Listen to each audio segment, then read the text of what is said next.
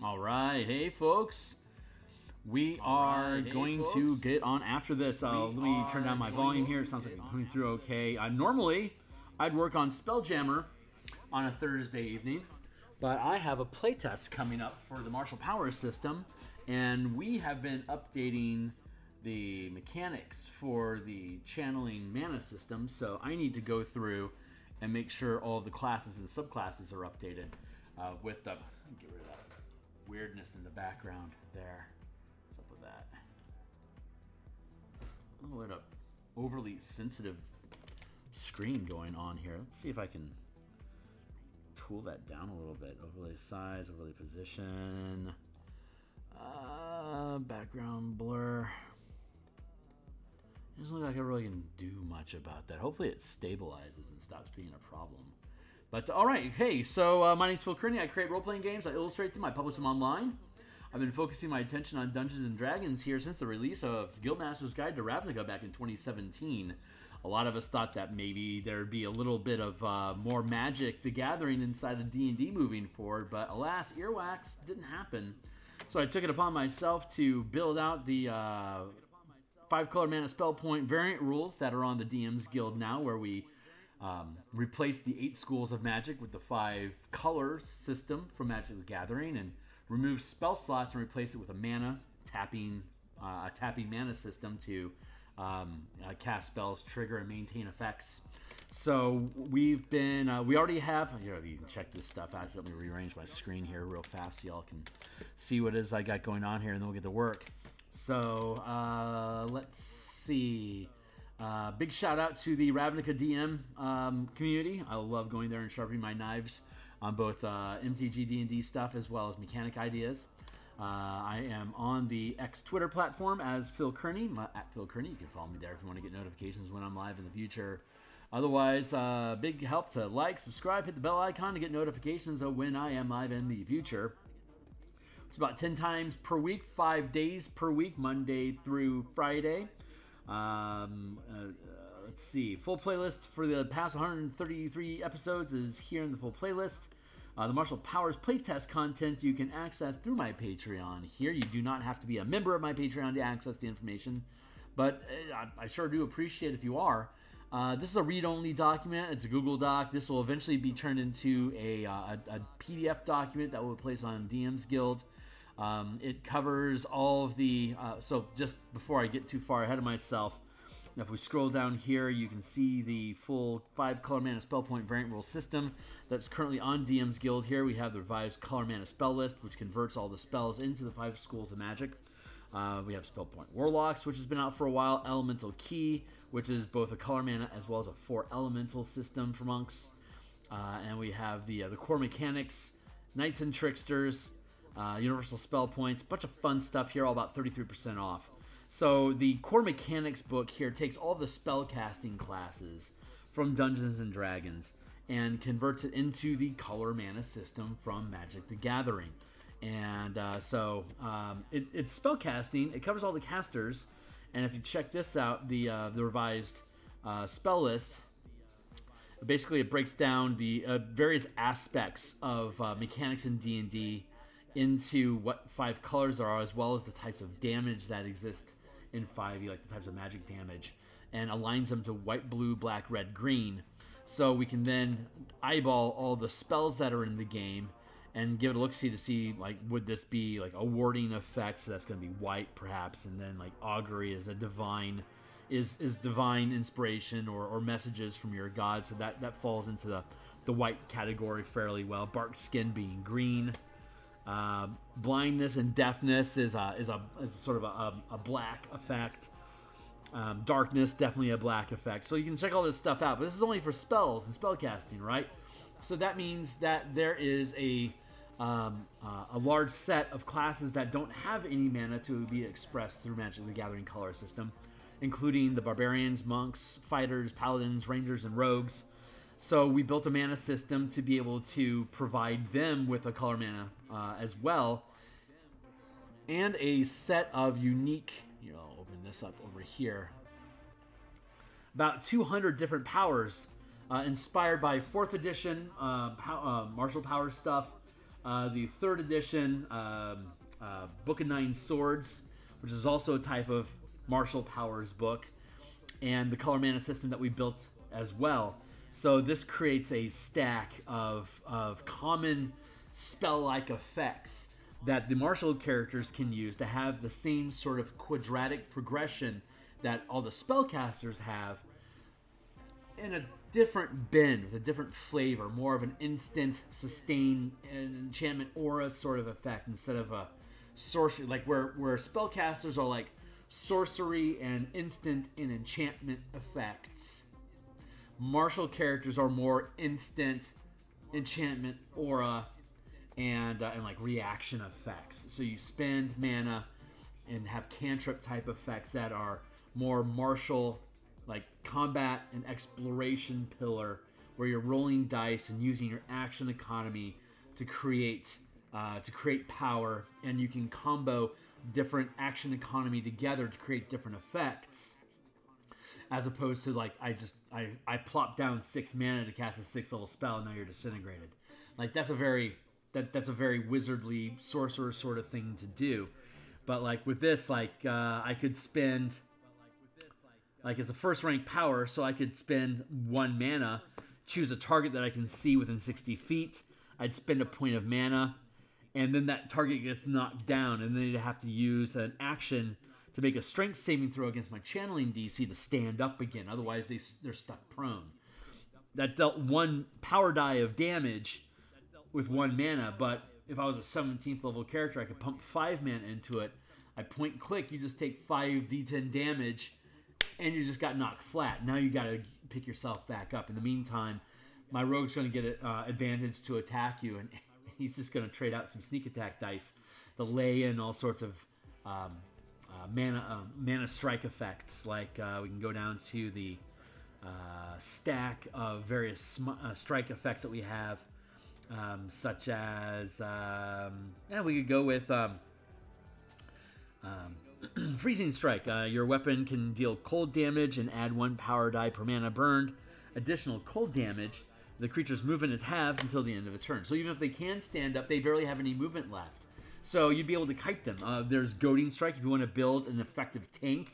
You could pick up the Goading Strike, or if you wanted to spend a little extra mana, you can lean into uh, Provoking Strike, which is uh, your weapon deals psychic damage and adds one power die per mana burned. The creature can only attack you until you lose line of sight or you are incapacitated, and the creature can attempt to end this effect by succeeding a wisdom saving throw at the end of each of its turns. And creatures that are immune to charm effects save with advantage. So you can force creatures into attacking you like a more like a legitimate tank, and they all all these abilities are either last one round or allow saving throws to get out of it. But a lot of them, it just you get hit by it and it's affected. You're affected. So when you're using mana, uh, most of these effects are dealing extra damage, and you're dropping some sort of condition or debilitation onto the opponent that you're facing. And that's just combat stuff. Uh, if you wanted to, you can get into the exploration and social um, um, uh, pillars of play with exploits. And like, for example, commanding presence, uh, which is when you're making an ability check that could use intimidate, performance, or persuasion skills, then you can roll one power die per mana that you burn, and you can add the highest result. Kind of like a bardic inspiration die, but you can like throw four of them and keep the best result. Granted, after two, maybe three mana, you're going to get an above average die result. So there are depreciating returns with the more mana that you throw at something. But if you really need to stick a landing, you can dump a bunch of mana into it to make sure you stick a landing.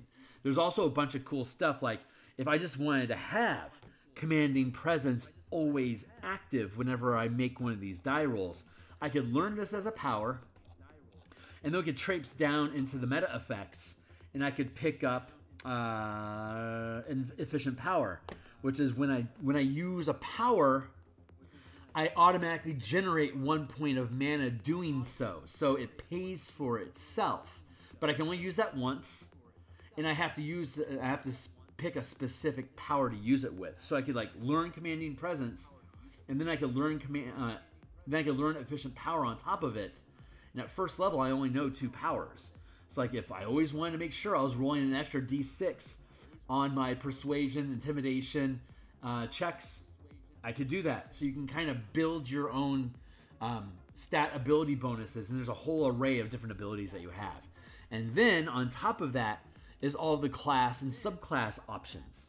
So right now I'm working on the monk, and we've already built out all the classes and subclasses, but we did have some uh, playtests recently, which showed us there was some ways that we needed to change how we were wording stuff to make sure there wasn't any weird interactions. So as a result of that, I have to go through the entire document and update the language to make sure everything is still uh, relevant to the new tech.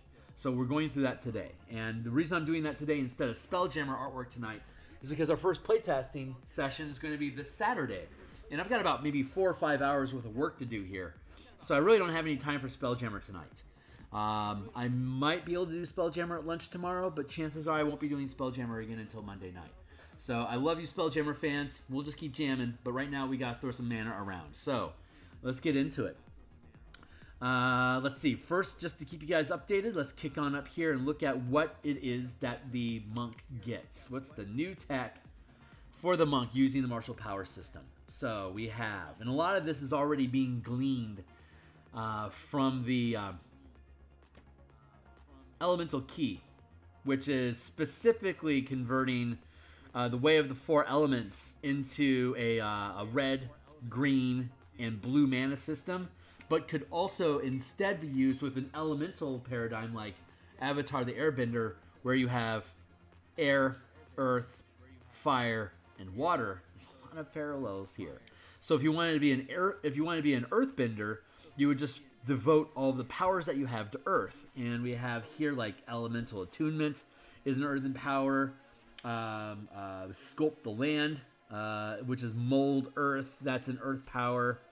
Um, um, earth tremor, uh, shuddering stomp. That's an earth power, but it's also a red and green power because earth is red and, and green is a lot of nature stuff. So there's a lot of bleed over. If you're using a color magic paradigm, use you would use either red, uh, blue, red, and green mana in any combination.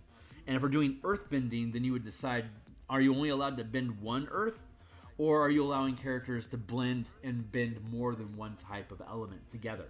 So you could have like a like an you could have like a an, an air and fire uh, bender if you wanted to. That would like have access to uh, of the Fire Snake, uh, as well as like say um, uh, Aganazzar Scorcher, but also like um, um, um, um what is it? Uh, Earthbind, uh, which knocks creatures out of the sky, or like say Gust of Wind, Hold Person. There's a lot of different powers that you could have access to using these specific elements. Now, when we get up, when we go into the martial power system, the martial power system says pick like if you're using color, like I'm going to be Boros, so I'm going to pick white and red as my two color sources.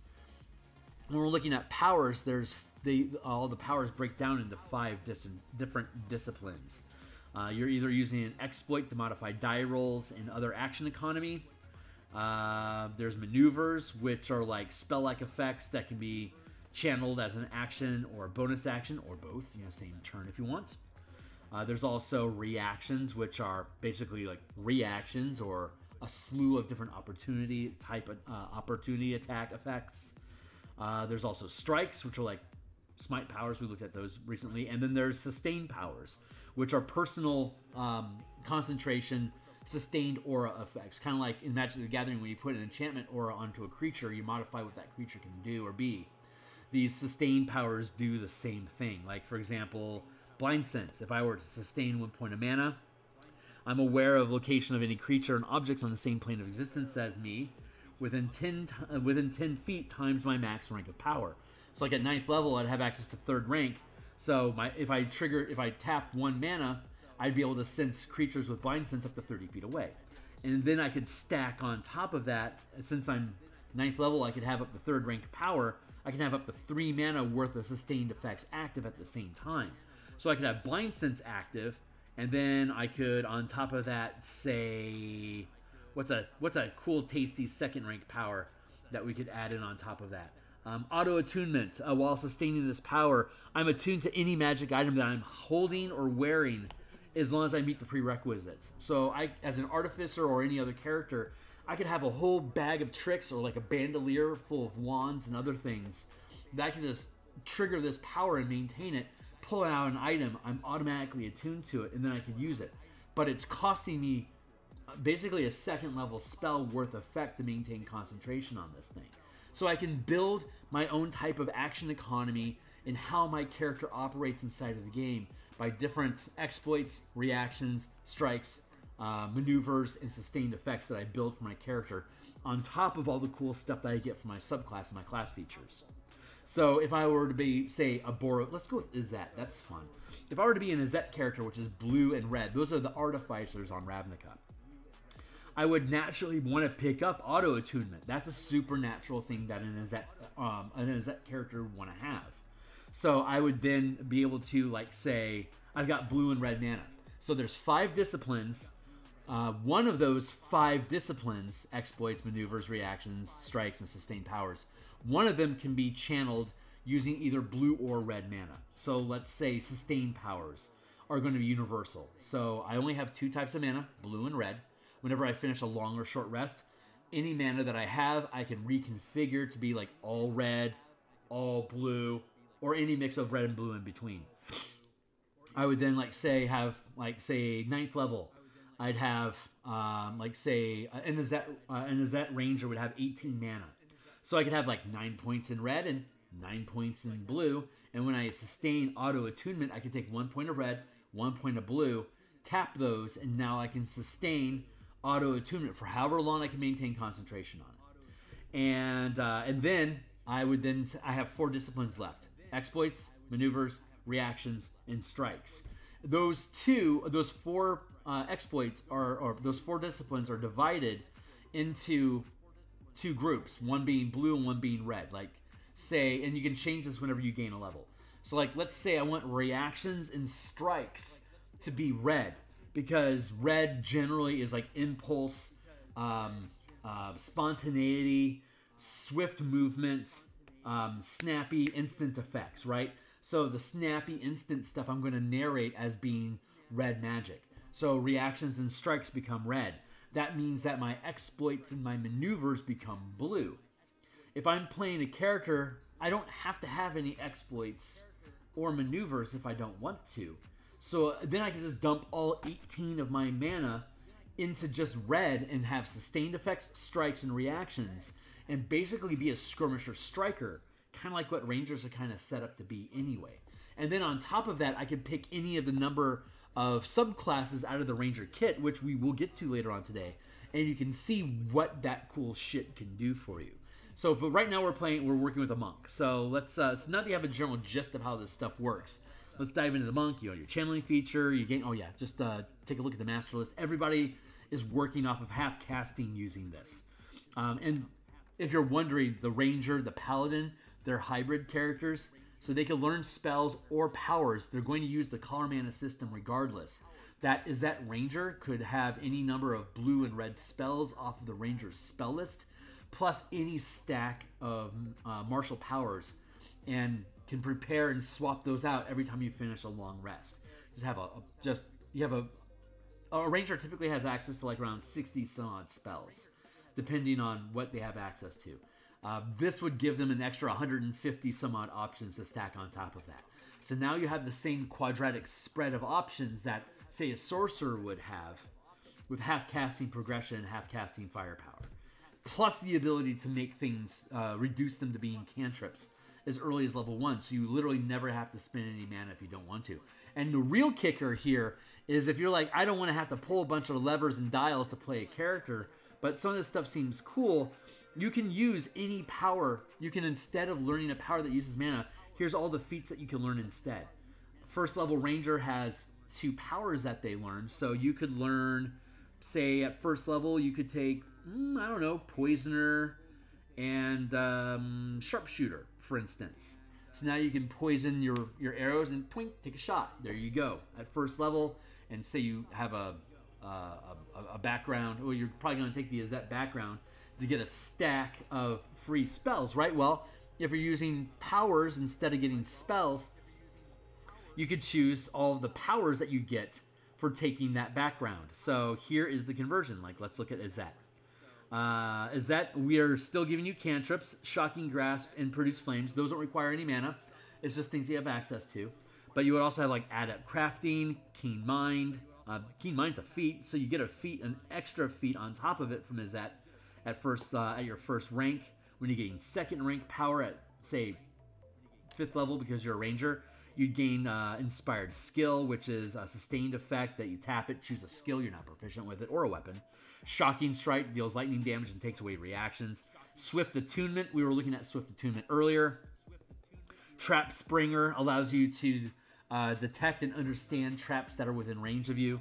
Uh, telekinetic Bubble is uh, is literally like Tenser's floating, is like a um, um, uh, Otiluke's Resilient Sphere. You can put on yourself or an enemy. Uh, Opt allows you to re-roll dice.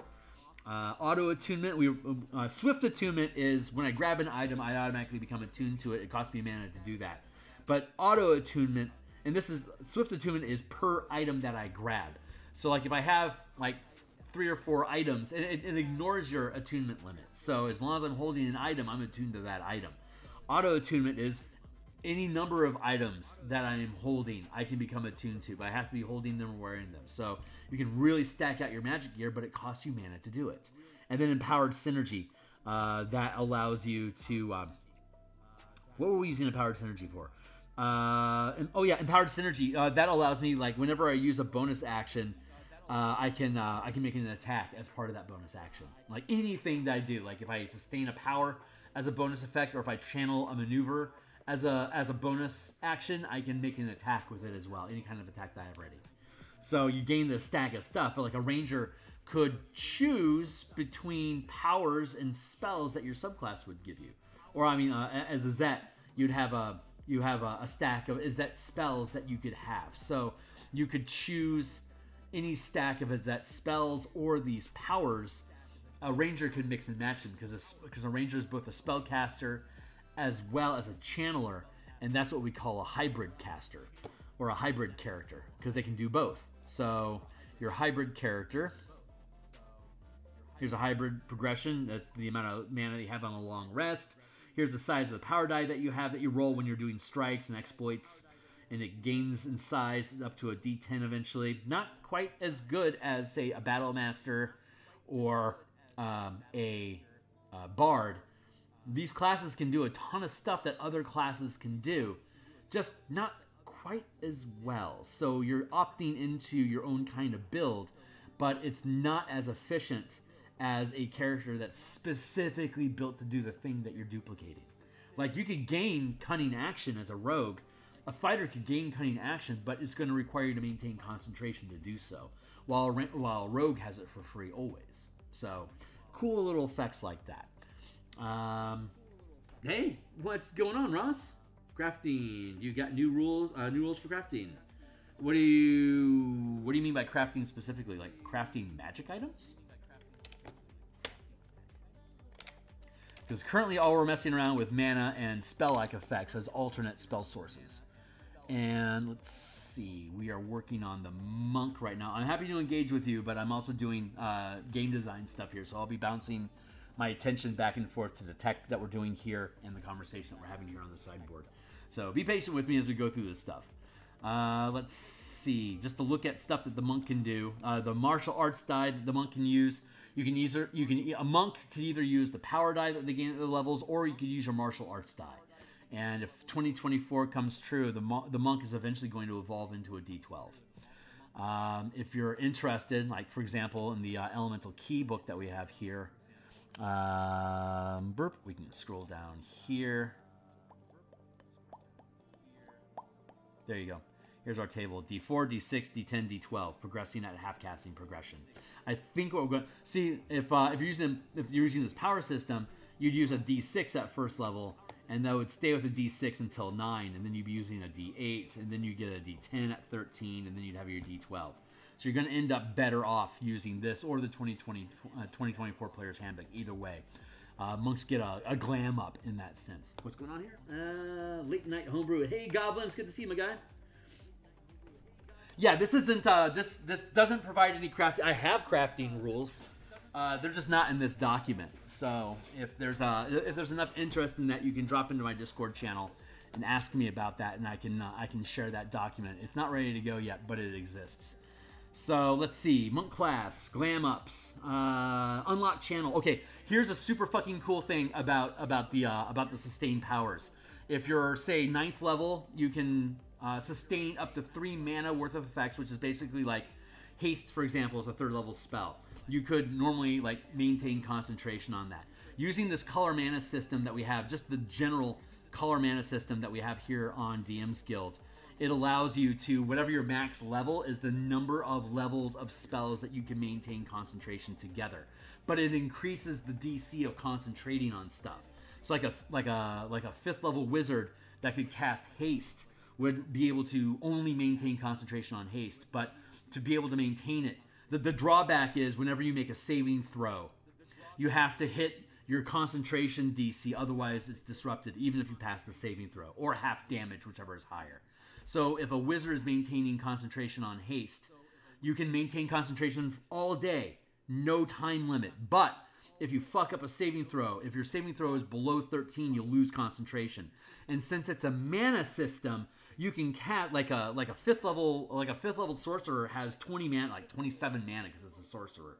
So you'd be able to cast a third level uh, third level haste spell nine times during a day. The big the the the big the the the big um, criticism of spell points or mana in general is that you just have this fat pool that you can just spam low level stuff. The solution to that is to make is to make spells fragile. So if you set it up so that every time you make a saving throw, you could lose your mana, you're now chewing through people's mana. I could hit you with a ray of frost, a stupid little cantrip spell. But if my if my saving throw DC is high, you're gonna have to make a dexterity saving throw or have half your movement. I could just ding you with that just to hit you with a concentration check. So if I have an archmage that's dinging you with a ray of frost, you now have to make a dexterity saving throw DC 16, or I'm gonna dump like four, five, seven, nine, ten mana off of your character, and then you just got fucked on your entire stack of like your guard, like your spirit guardian cleric goes down, and he loses his spiritual hammer and his aura vitality. Uh, like a 17th level um, cleric can maintain all three of those things at the same time, but he'd have to make a dexterity saving throw DC 19 to do it. There's no way. The chances are, even if you have a paladin stacked with you, chances are you're gonna miss that shit. So that means that your cleric just lost all his mana, and now he has to spend three rounds getting his shit back in gear again. And then I could just ding him with another ray of frost. So high risk, high reward. It's nasty, but it's really fun because now your characters have to really think about God. If I tank up my cleric, what do I need to do to keep them from getting targeted by shit?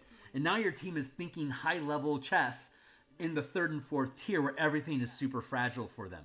So powerful cosmic, you know, like like infinite cosmic power, but in a frail human body. It's super cool. But the martial power system is built for abuse. So the way that sustained powers work in the martial power system is if you want to, you don't have to maintain concentration. It's permanently on until you take a long rest. But if you do that, it reduces the amount of mana you can use if you leave concentration in your channel, if you leave your channels open, I could sustain like like a ninth level ranger could activate and have uh, a permanized haste as long as you can maintain concentration on it. Or, and, but I'd still be able to like you know use third level spells like instant effects and stuff like you normally would. It's just my concentration is being eaten up by that haste spell. But a martial powers character can lock the mana so I no longer have to maintain concentration on it. But a ninth level ranger that's sustaining three mana as a locked effect can no longer use any mana until I unlock and dump that power. So I'm having a trade off of my own action economy. I can, over the course of my character, dump on a bunch of buffs that I permanize to become just part of my character's abilities. But I'm limiting how flexible I can use my mana. So, like, if I wanted to build like a super tanky character, I could build out uh, buff tank effects, and then like maybe only have like two or three powers that require mana that I lock, and then I just pick a shitload of feats. So like I only need like two or three things, But then, now that I have the things that I want, the, the powers I want to maintain, I now have a list of 20 feats that I could choose. So my ninth level, like my ninth level fighter, for instance, um, I have 10 powers. And if all I want my ninth level fighter to have is permanized haste, then I'm going to have three mana. I lock haste on permanently. And that leaves me with nine powers open. I can now go shopping for feats. And I can save all my ASI for stat bonuses. So it's a really cool flexible system. If you don't want to mess around with all this monkey mana stuff, you don't have to. Just learn a bunch of feats. Crusher, Defensive Duelist, Dungeon Delver, fighting it. Like you can learn a bunch of fighter initiate powers, right?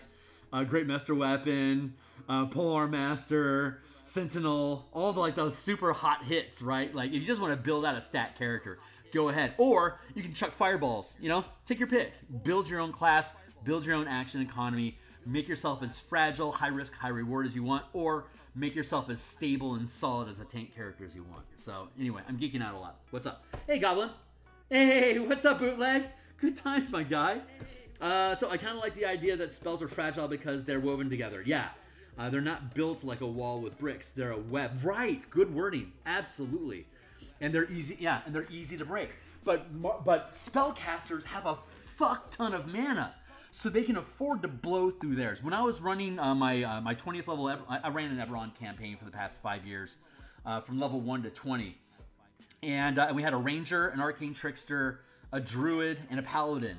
And the druid, she could stack up by 19th level. She could stack up 10 levels of stuff, and but she was constantly working with the paladin and the arcane trickster and the ranger to set up defensive areas so that she could safely stack on a bunch of mana to help protect the team while they would be taking hits, doing interceptions, blocking shots, making sure that that her mana wasn't disrupted, which means that they needed to have a lot of coordination, making use of their action economy together, coordinating their actions and planning. So they can't they like no point in that campaign where they just raffle stomping through stuff. Everything was a risk. Because again, at any time I could just ping, I could just ding her with a ray of frost, and she just dumped all her mana, and now they're exposed. Anyway, so I geek out on this crap. So don't mind me. Uh, back on task. The goal here is to get through Monk and Ranger tonight. And then I'll be back tomorrow at lunch. Uh, uh, Paladin and uh, Artificer and Warlock. So let's see, just to catch people up. Um, so okay, so the reason I was talking about those locked channels is because the coolest thing. There's two super cool things here. Like there's a billion cool things here, but one of the cool things is that a barbarian, while a barbarian, you can't maintain concentration while you rage, right? We all know that. Can't cast spells. Channeling are not spells. Can't maintain concentration. So whenever you rage,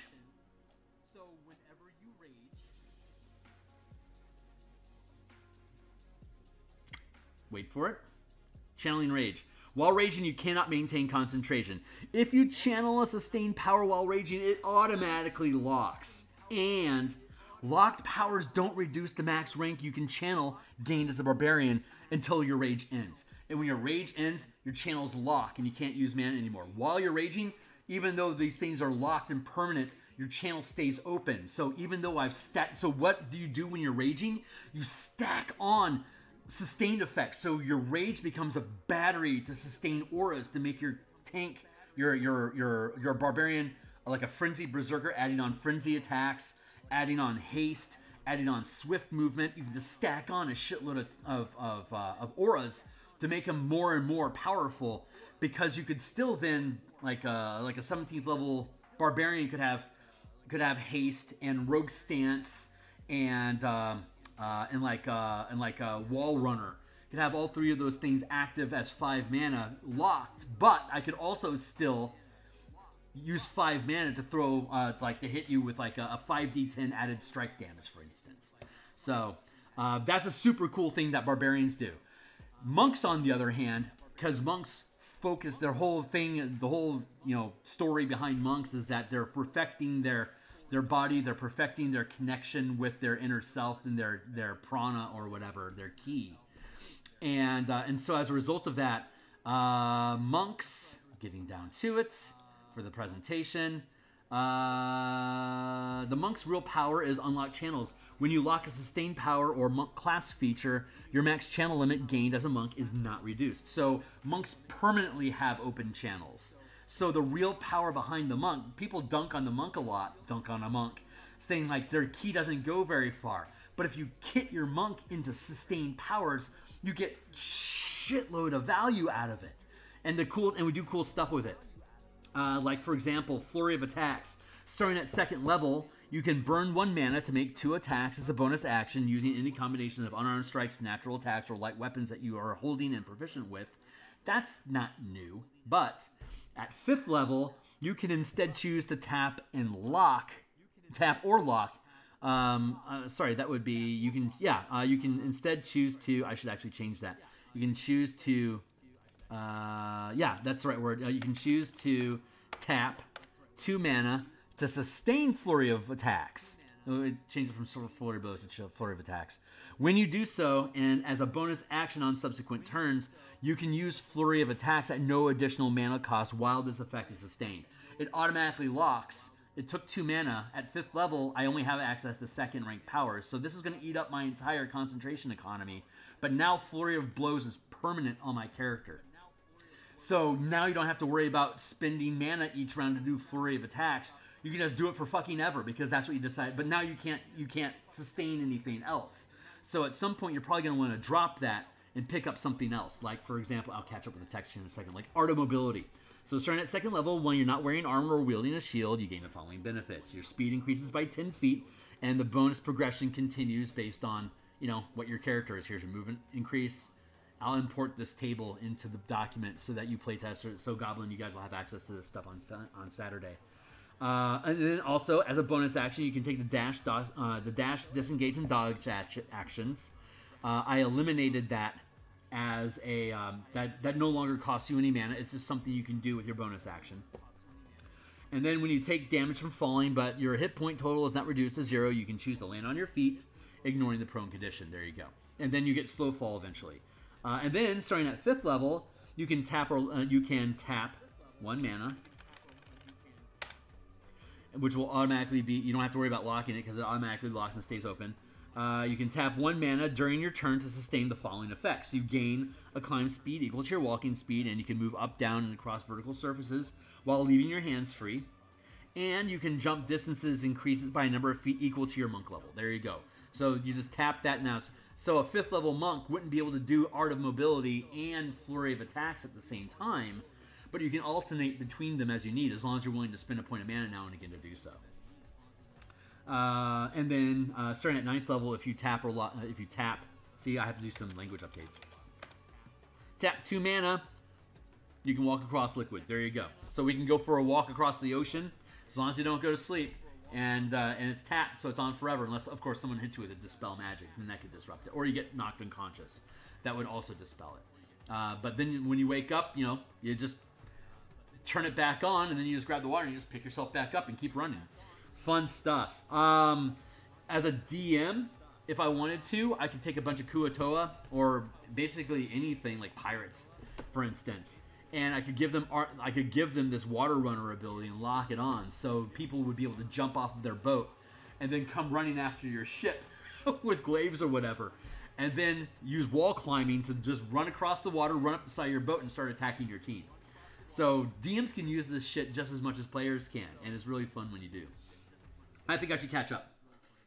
Curious to see the Artificer. Huh, so Monk 5 levels, 7 fighter champion, just fly. Yeah, absolutely. But uh, Goblin, you got to keep in mind the playtest is only going to ninth level, so so we have a limit there. Um, uh, yeah, ninth, you know, we're going to ninth level. We're going to cap the the playtest at ninth level. So because we're in a rubble belt, and it wouldn't be any fun if you could just fly across the rubble belt and just avoid all the trouble. So I'm keeping the playtest at a low enough level that you're going to have to inter- interact with the stuff that's in that's inside of the game. Um, but I, I spent a long time playtesting this at my home table from basically level 15 through 20. High level felt amazing. Fifth level on my playtest I ran last week felt amazing. I'm going to start this at third level just to make sure everything keeps parsing out properly. And over the course of the next four months, from level 3 to 9, I think we'll get a really good idea if the, it, what might be OP, if anything. I doubt it. Uh, but maybe we'll start adding in spellcasters in the mix just to, to see how those things sit with each other. Uh, focus strike, third level, make an attack roll with an unarmed strike or a weapon that you're proficient. Unarmed strike, comma, natural weapon, or a weapon that you're proficient with, or yeah, a weapon that you're proficient with, you can burn one or more mana up to your max channel limit to roll an equal number of power dice. Add the highest die result to your attack. You can do so before or after making the attack roll, but before any effect of the attack are applied. Instead of burning a mana for a plus two bonus, that's bullshit. This is actually going to let you hit stuff. God, that felt so good. During the playtest, I was using coordinated attack with, uh, with Dungeoneer packs um, uh, Scourge uh, I would use uh, I, I would use my action economy to get a free use of coordinated attack. So he could use uh, I would sacrifice an attack to get a free point of mana, so that I could use as a bonus action to use coordinated attack, so that he could use reaction to make an extra attack as his reaction. But when I do that, he gets to roll one of my power die and add it to his attack roll, and that allowed him to hit a lot one power, even just a D8 power die, really goes a long way to be able to hit things consistently. It feels like you're using your mana in a really smart way. It's it just you don't feel like you're wasting your action economy at all. It felt really really good. Um, replenishing pool. A lot of people have a problem with how little mana monks have. Third level alternate class feature. When you roll initiative, you regain a number of mana equal to the maximum rank gained as a monk. So you get this at third level. You only have first rank at third level. So whenever you roll initiative, you get a point of mana. Have fun. Uh, empowered healing, fourth level power. Uh, starting at fourth level, as an action, you can burn a number of mana up to your max channel limit. Fourth level, you still only have a mana limit of one, so you could spend one point of mana, but like at ninth level, you could spend three to roll an equal number of power dice. At ninth level, you're rolling d8s. Uh, so that would mean that you would then um, Roll a number of power dice. Let's see, uh, max channel limit up to equal to the number of power dice. You or a creature you touch regain a number of hit points equal to the total roll. Not as good as a cleric, but still pretty damn good. In addition, you or the creature touched can spend a number of. You could also that creature could spend a number of hit dice up to the amount of power dice that I rolled to gain additional healing. So if I were to use two mana to heal the barbarian, he's going to get 2d8 worth of hit points from me, and then he could burn two hit dice to get an extra 2d12 hit points back. Mm, mm, mm. Oh, also worth mentioning. Sorry, I'm all over the place today. Don't mind me. I'm overly caffeinated, but this is super cool because one of the things that uh, primal stamina. Uh, when you finish a long rest, you regain all hit, uh, barbarian hit dice uh, instead of half, and while not raging, as a bonus action, you can sacrifice any number of hit dice up to your max power ranked. Oh, oh wait, that's that's not it. Um, uh, right. So what you could do is a a monk could ready an action, and then um, touch to heal the barbarian. So when you touch the barbarian and heal the barbarian is using his bonus action to burn hit dice, and you would then be able to heal him, and then he could use his hit dice to not only get hit points back, but to get a number of mana back equal to the number of dice that uh, that he's burning. So you can stack up your action economy that way by healing and regaining mana at the same time if you're dumping mana into your uh, into your uh, into your barbarian. Just cool little action economy things that we can do here. Constructs and undead, of course, can't be healed this way. Uh, let's see. What's up? Yeah, right on. Uh, are there things? Uh, are there going to be any crazy effects like omnipotence? Magic the Gathering fan, loving you, Ross. Um, nope. Everything's basically everything is built. Everything is built to be calibrated by at fourth or lower level of spell casting. Uh, the um, I'll, let's see what is the what is the absolute craziest thing that we have here. Let's go look at our fourth rank shit. Um, uh, indestructible. Um, four mana to sustain this effect, uh, which means you don't have access to it until 13th level. Uh, while sustaining this power, you, you gain resistance to all damage and attacks. Uh, you gain resistance to all damage, and attacks can't score critical hits. As a reaction to taking damage, you can dismiss this power and burn two additional mana. If you do, until the beginning of your next turn, you are now immune to that damage type. That's about as powerful as shit gets in this game. But that's actually really cool. You could jump into fire. Like you can jump into lava and swim around in it for a little while. You're doing okay. Uh, Master of Fate, when you trigger this power, roll 3 d20 fate dice. When you later roll a d20 while the power is sustained, you can choose to replace the result of any one of these fate dice. Uh, when you later roll a d20 while this power is sustained, you can choose to replace that result, replace that result with any one of these fate dice. It's kind of like the divinity thing, right? Each fate die can be used only once. While this power is sustained, you can burn one point of mana as a bonus action during your turn to roll an additional fate die, replacing any result or regaining an expended fate die. Unused fate dice are lost when the power is dismissed. So a monk could activate Master of Fate and have a floating die pool of d20s that you could just swap out anytime that you want, and then burn a point of mana anytime that you need to get another die into your fate pool. So that's that's like the high and crazy shit for like frenzied attack. While sustaining this power, you gain one additional attack as part of your attack action. So a fighter at 20th level fighter sustain this has five attacks per round, and all attacks are at advantage. that's that's pretty good. But that's about as crazy as sustained powers get right now. Uh, once this book publishes, we can do things like Book of Dimir, and we can create a whole bunch of Dimir effects specifically, or like the Book of Blue for omnipotence or something like that. Maybe we'll come up with something. Uh, let's look at high level strike powers. Uh, there's only one right now, four, uh, four mana, Banishing Strike. Uh, when your weapon deals force damage, you deal 4d10, or uh, you deal 4, four uh, power dice worth of damage in addition, and the creature is banished and incapacitated for one month, returning to, for one minute, sorry, returning to the same space it had been banished from if unoccupied, otherwise returning to the next closest space uh, that can support its weight unless it was flying. The creature must make the creature makes a Wisdom saving throw at the end of each of its turns, ending the effect early if successful. There you go.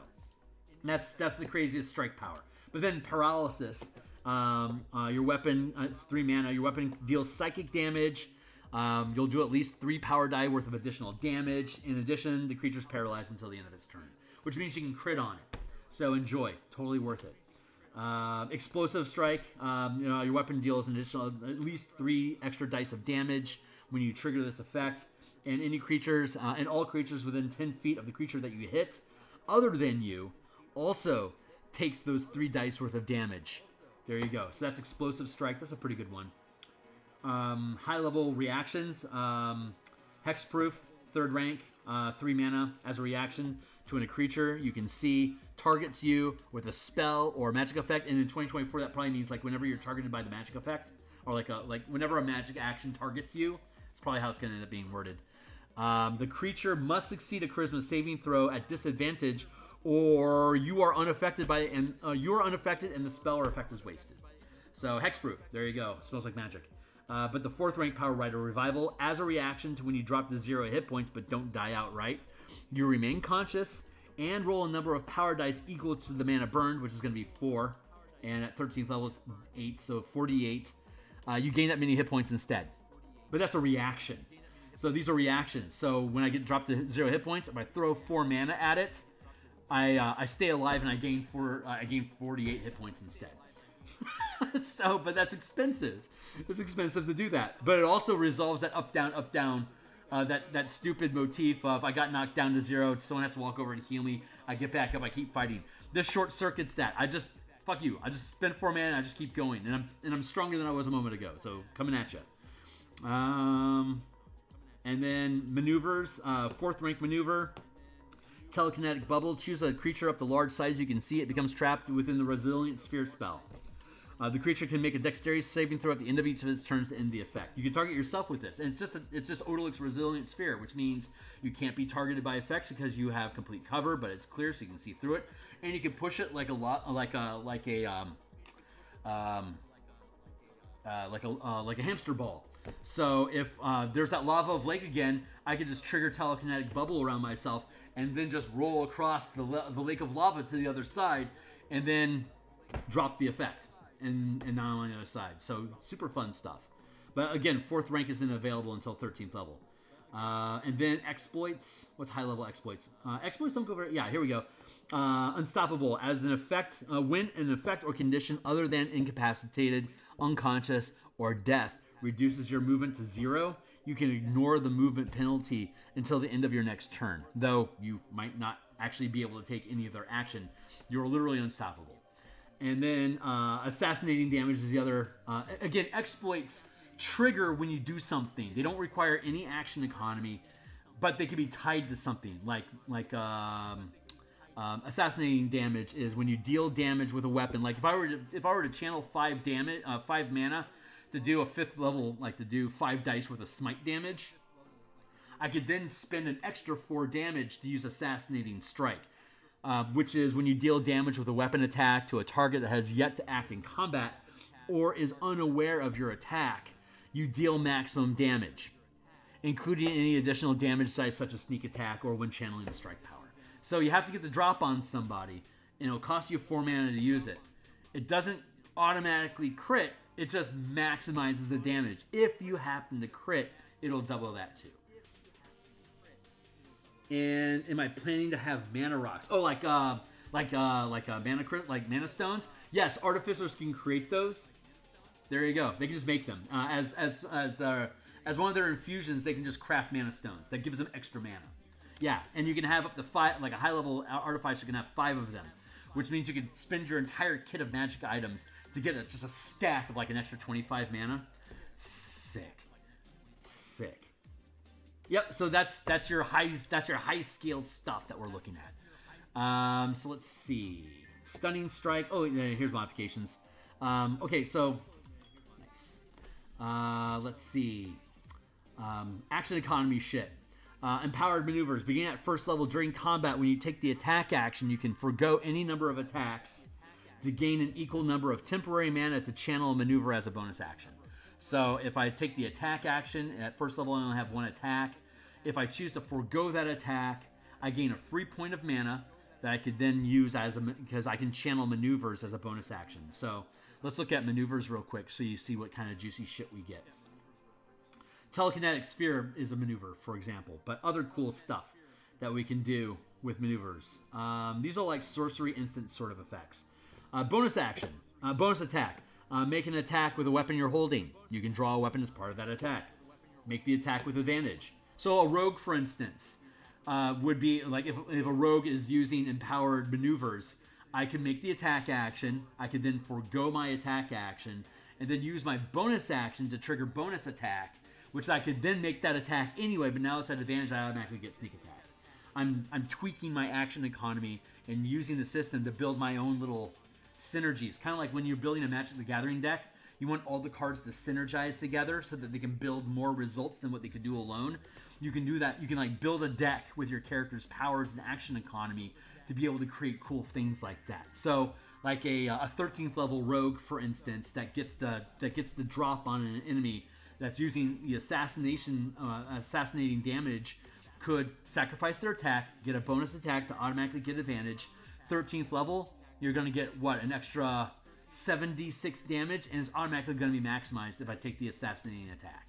And then I could then spend four points of mana on top of that to banish the target. So I hit them, I sneak attack them, I deal an extra 48 damage against them. It's all maximized, and I banish them and as a result of it, and they might not come, and, and they're going to be gone for up to maybe a minute. So my team can get ready to set up for when they come back. So it's sick. Um, the one of the main drives behind this game is that combat is supposed to last two or three rounds.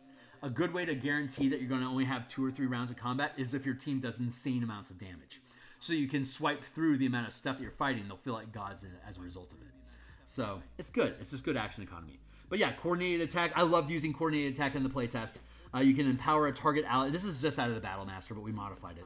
So um, when you can take, uh, you can empower a target ally you can see that can see or hear you to use their reaction to make an opportunity attack. Rolling one power die per mana channeled, adding the highest result of those power dice to that ally's attack roll. So like, um, I was rolling d8s.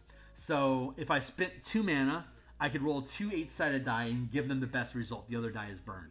So there's a there's a there's an action there's a there's an efficiency there. Once you get around two or three mana spent, you're probably going to roll above average. So there's not unless you really need to stick that hit. You don't need to spend four or five mana on it. Two mana is typically enough. And if you're using the uh, the empowered maneuvers, I could sacrifice an attack to get a free point of mana that I could then use my bonus action, and I can effectively do it for free without not, I don't have to use my mana pool because by using my action economy, I'm I'm basically generating a free point of mana as like a momentum thing to be able to then spend that mana on because I ate up my action economy. So my round goes by faster. I have more chances of doing something effective. And a lot of this stuff is designed to help my team do more stuff. So you become a really powerful um, uh, support character by giving up your attacks to give more bonuses to your to your allies. But but maneuvers can be used as actions and as bonus actions, and you can do them both in the same round. So if I wanted to, I could use coordinated attack twice. Target you, you make a reaction, you do the same thing. So you just gave out two free attacks to your team. So cool stuff that you can do. Uh, that's what uh, that's what empowered maneuvers. Uh, that's what yeah, empowered maneuvers does, and everyone has access to empowered maneuvers. Um, and then there are um, uh, uh, empowered attacks. Beginning at fifth level, when you take the attack action and if you hit with your first attack, you can forego your second attack to get a free point of mana that you could then spend on a strike. So if I hit you with the first attack, if I skip my second attack, I could automatically gain a free point of mana to deal extra damage and to trigger one of my strike effects. So a fighter that has frenzied attack active has five attacks because he's sustaining the extra attack. If I hit with my first attack, I could then forego my next four attacks and get four free points of mana to channel a four level strike so I can do like at 17th level an extra 40 10 damage every round as long as I hit with the first attack. So not bad, not bad. If I hit, if I miss with the first, like I could hit with two, three, four attacks. That fourth attack I hit, I've got an extra attack left over because of frenzy. I can then sacrifice that one and just get a free point of mana. So I can like regular attack one, regular attack two, regular attack three. Fourth attack I hit. I'm now going to spend my frenzied attack to get a free point of mana so I can channel a strike for free. There you go. But at 17th level, I have a shitload of mana. I can just dump that all in on top of it. So I can get things for free. Uh, stunning strike, fifth level. Uh, starting at fifth level, when you hit with an unarmed or natural weapon attack, unar- uh, when you hit with an unarmed, uh, yeah, an unarmed or natural weapon attack, you can deal a, an amount of additional weapon damage equal to one power die per point of mana burned and the target must make a Constitution saving throw. If it fails, it's stunned until the end of its turn. There you go. Um, a little bit, a little bit tighter on the action economy. Guaranteed to deal extra damage with it, whether you get the stun or not. And it's not so long that it doesn't feel horrible to get caught inside of a stun lock, because the stun ends at the end of its turn. So if the monk comes after you again to do it again, you have reactions open to potentially prevent that from happening. So and so if you have creatures like if you have bosses and stuff that have like villain actions, lair actions, and legendary actions, or is using opportunist, then you'll have more uh, opportunity attacks available for you to be able to use your action economy with. Uh, whirlwind attack, I love whirlwind attack. Uh, fifth level optional class feature as an attack, you can burn mana to attack enemies around you that you can see in a blur of motion. The whirlwind attack table below shows how many targets you can attack and how far from you each of these targets can be. Make a separate melee attack against each of these targets, using any combination of natural, unarmed, or melee weapons that you're holding and proficient with. Each target hit takes one power die of additional damage for each mana burned this way, up to the max channel limit gained as a monk. So, a fifth level monk can attack two targets that are that are 15 feet apart from you, and and I have to spend at least one mana to do so. And and if I do, I just I deal my weapon attack damage plus an extra d8. If at 17th level, I could dump five mana into it, or I could just dump one mana. My choice. Like if I'm clearing out a mook, like like a like a minion mob that only have one hit point anyway, then I could hit all five of them and just dump, and I'm just automatically gonna deal damage. So I can kill all of them with that effect. It only costs me one mana to do it. But I'm a high enough level that they can be 30 feet apart from each other. And then, as a kicker effect, um, I could then spend an additional point of mana to teleport to an unoccupied space within five feet of that target I attack. Neat stuff. Uh, now, now that we've gotten through the array of stuff that monks get for free, uh, we can actually get into the traditions. And now, just like with spellcasters, every martial power character gets a stack of free powers uh, when they get access to their uh, third level class, fifth level, ninth level, 13th, and 17th level class. Here's uh, like Way of Mercy gets Chef and Poisoner as feats. Um, they're feats. They're fun. They're free. There you go. Um, field medic, veterinary training, swift resuscitation, great fortitude, curse of enfeeblement, strange metabolism, lethargy, life stealing strike. And we, we don't care about what level it is that you're getting access to it's because you can always upcast. You can always dump more mana into something. It's just when you get access to it. And mostly the powers that you get access to is based off of the themes of the subclass. Like feats are free to use, and way of the way of mercy, you, know, you have those like uh, you have like the, the the hand of poison, the hand of healing, right? So getting the poisoner feat makes a lot of sense, and so does chef because you can do things that help heal people, and you can do things that poison people. So like that's just kind of like that's just they call it ludonarrative when the, the when the, the description the narrative of something complements the mechanics that the thing can do. So i think that's good ludo. Um, so let's go into the features. I think i have to do some cleanup on these features. So i'm going to catch up on the text over here.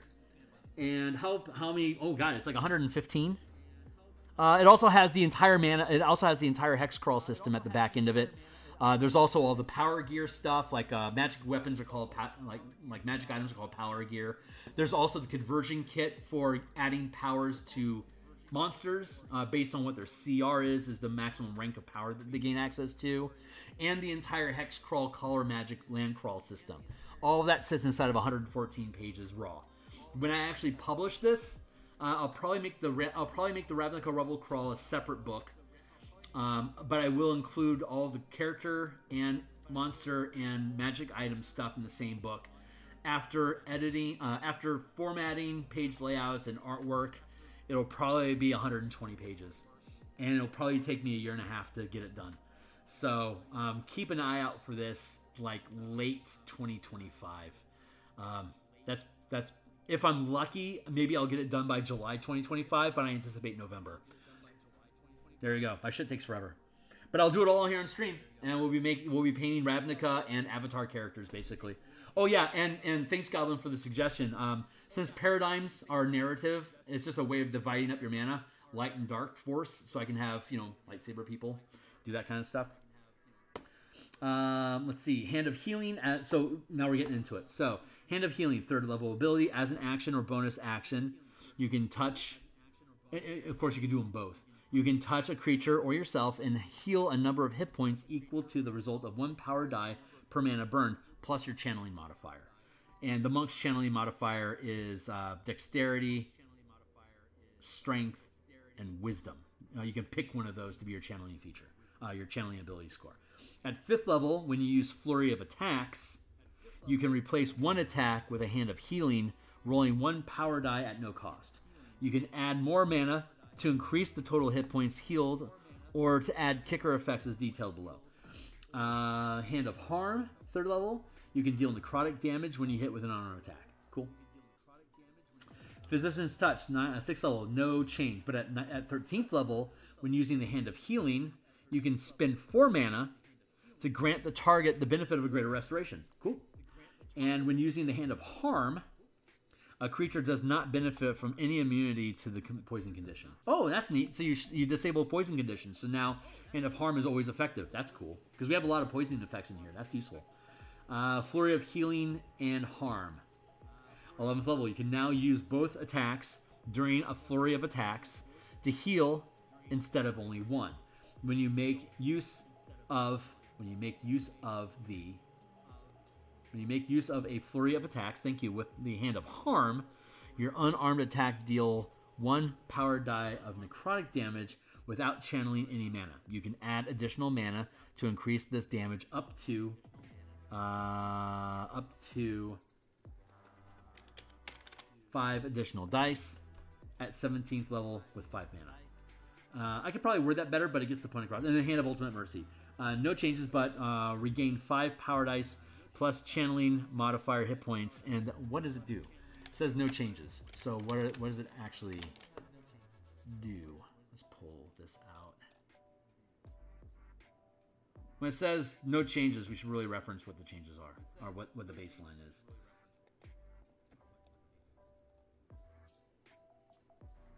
Uh, your mastery of life energy opens the door to the ultimate mercy. As an action, you can touch the corpse of a, of a creature that died within 24 hours and expend 5 ki. The creature then returns to life, regaining a number of hit points equal to 40, 10 plus wisdom modifier. If the creature died while subject to any of the following condition, it revives with them removed. Once you use this feature, you can't use it again until you finish a long rest. Okay, that's our baseline. So no changes, but um, let's see, regain. Oh, uh, but uh, but uh, the number of hit points gained equals five power dice plus channeling modifier uh, equals 5d10. Uh, five, there's a chance you could use a, you might be able to have a different power die. So um, I, I, don't want to say, I don't want to hard code as 5d10 because a monk could be using 5d12s. So yeah, a monk at 17th level, a monk would be doing d12, so it'd be 5d12. Um, power dice plus channeling modifier hit points, and there is no limit to how often you can use this feature. There you go. Uh, Way of Shadow. So, Blind Sense, that makes perfect sense. Skulker is a great feat. Ambush uh, gives you uh, a power dice uh, to add to your uh, your initiative modifier. Vanish, Vanish. Vanish is um, you spend one mana, you become invisible until the beginning of your next round. It doesn't end if you do something. It's just it, it, you just become invisible. Um, subtle channeling is an exploit. When you do this, um, that your channeling is undetectable so you can stay hidden and affect people with stuff. Blinding Strike blinds people when you hit them. Empowered Synergy, when you use a bonus action, you can make an attack as part of that bonus action, regardless of what it was.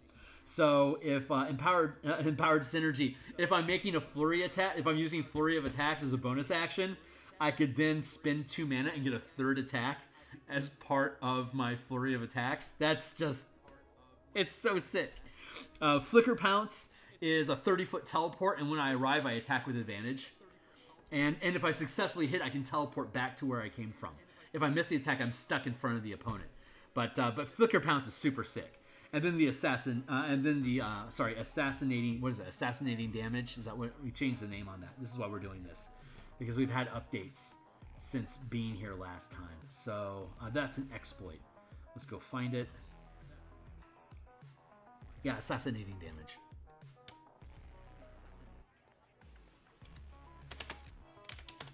and Ghost Walker, which is you become incorporeal. There you go, walk through shit. Uh, let's see. Uh, Dark Stalker, third level. Uh, as an action, you can tap or lock. Uh, you can tap one mana. I don't need to say lock because you automatically lock it if you want to. Uh, you tap one mana to create a sphere of shadows that emanates from you in a 10 foot radius.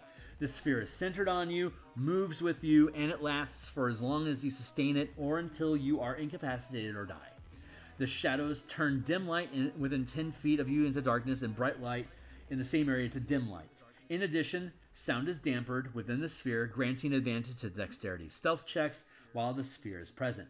The Sphere of Shadows effective spell level is equal to your max rank of power gained as a monk for determining if a light spell area will dispel the sphere.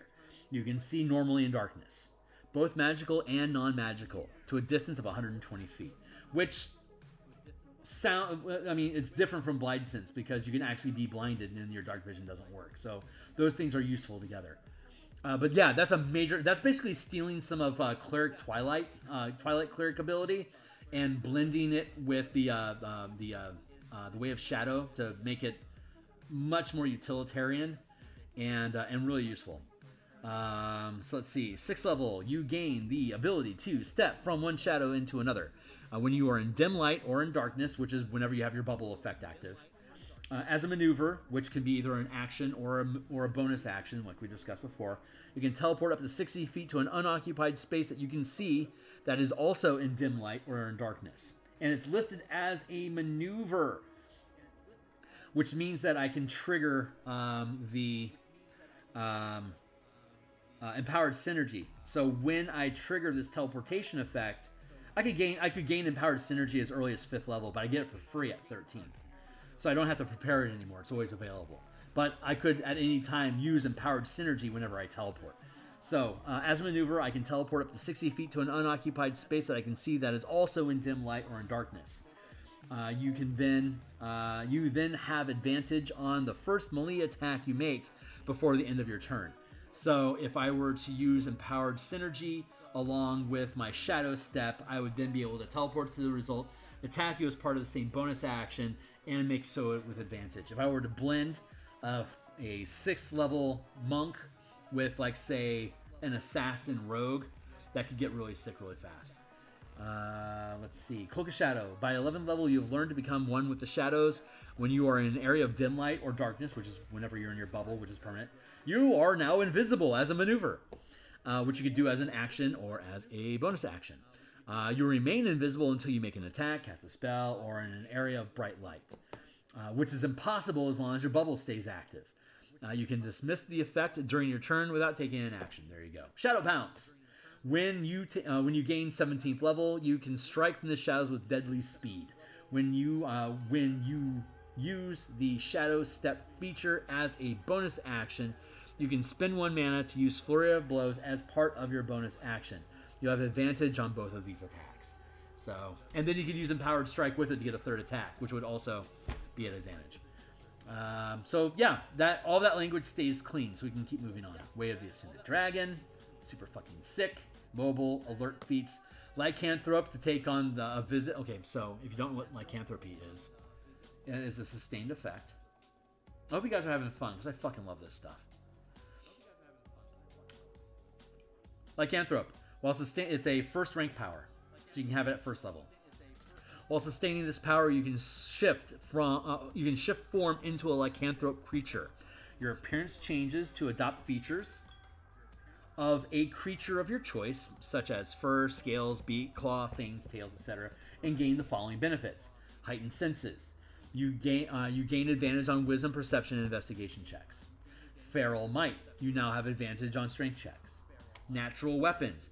Gain unarmed attack that deal one power die plus strength or dexterity modifier, slashing or piercing damage. There you go. So those are the cool things that you get. And so the Way of Ascended Dragon, you get you can have it at first level if you want to pay for it, but at fifth level it becomes free. And then your uh, and then your visage is always that of a dragon. Uh, Dire Impact, uh, you can add your channeling. Dire Impact is a sustained power, one mana. Um, you can add your channel, um, your max channel, your channel, uh, your max. The max rank of power you can channel is the amount of damage that you can add to uh, to any attacks. So like uh, at fifth level, it's a plus two, so it'd be plus two. At seventeenth level, it's a plus five. So dire impact would always do plus five whenever you make uh, a weapon attack. Deadly presence scares things. Intimidate. and Deadly presence scares things at a distance that you look at them. Intimidating strike scares them after you hit them with and deal damage. Uh, blind sense, you know what that is. Wave of terror is. Uh, uh, uh, oh, sorry. Deadly presence deals damage to creatures when they're within uh, within the melee attack range of you. Uh, Wave of terror creates a fear effect to everybody within a 30 foot space around you. We talked about indestructible earlier, which leans into dragons being immune to that type of damage. And then explosive strike kind of simulates a breath weapon effect. Now, let's get into the actual features. Draconic Disciple, Draconic Presence. When you use, uh, you you can use this once per long rest or spend one ki to regain use of the feature. What what is it?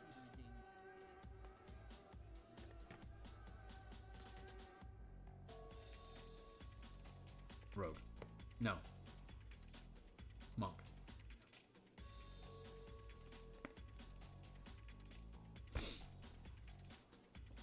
Way of Ascended Dragon.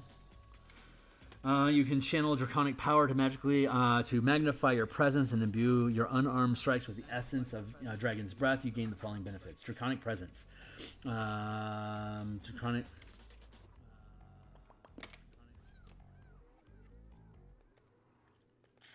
Draconic presence, draconic strike. Uh, when you damage a target with unarmed strike, you can deal. Oh, there we go. Okay, so uh, you can. Okay, draconic presence. Uh, if you fail a charisma check, you can use your reaction to re-roll the check as you tap into the mighty presence of dragon. Once this feature turns a failure Uh, once this feature turns a failure into a success, you can't use it again until you finish a long rest. Or you can spend one mana and get access to it again. Uh, spend one mana. That's how old this is. I'm still calling it ki. Draconic Strike. So when you damage a target with unarmed strikes, you can deal acid, cold, fire, lightning, or poison damage. When you spend mana to channel, am I using mana up the line here? Mana, yeah. Mana, mana, mana, mana, mana. Okay. Wow, that's how long it's been since I've looked at this. Uh, when you spend uh, when you spend mana to channel a martial strike through an unarmed unarmed strike, the additional damage can be the same damage chosen for the unarmed strike. Like if you choose to deal fire damage, but you're using a shocking strike, shocking strike deals lightning damage. But if you chose to do fire damage with your draconic strike, you can instead do fire damage. There you go. Or you could do unarmed damage. It's up to you, uh, which would be like bludgeoning. Worth noting.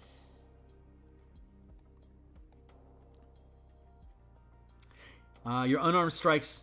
Okay, uh, whenever you hit with an unarmed attack, you can choose to deal bludgeoning, piercing, or slashing damage. And your unarmed strikes are considered to be weapons worth at least one silver piece that possesses the finesse and light weapon properties for use with spells, feats, and features requiring these prerequisites. So you could like um, if you were a, like a, a, a monk sorcerer hybrid, you could use like Shadow Blade. You could you could enchant your hands to become Shadow Blades, for instance, if you wanted to do that.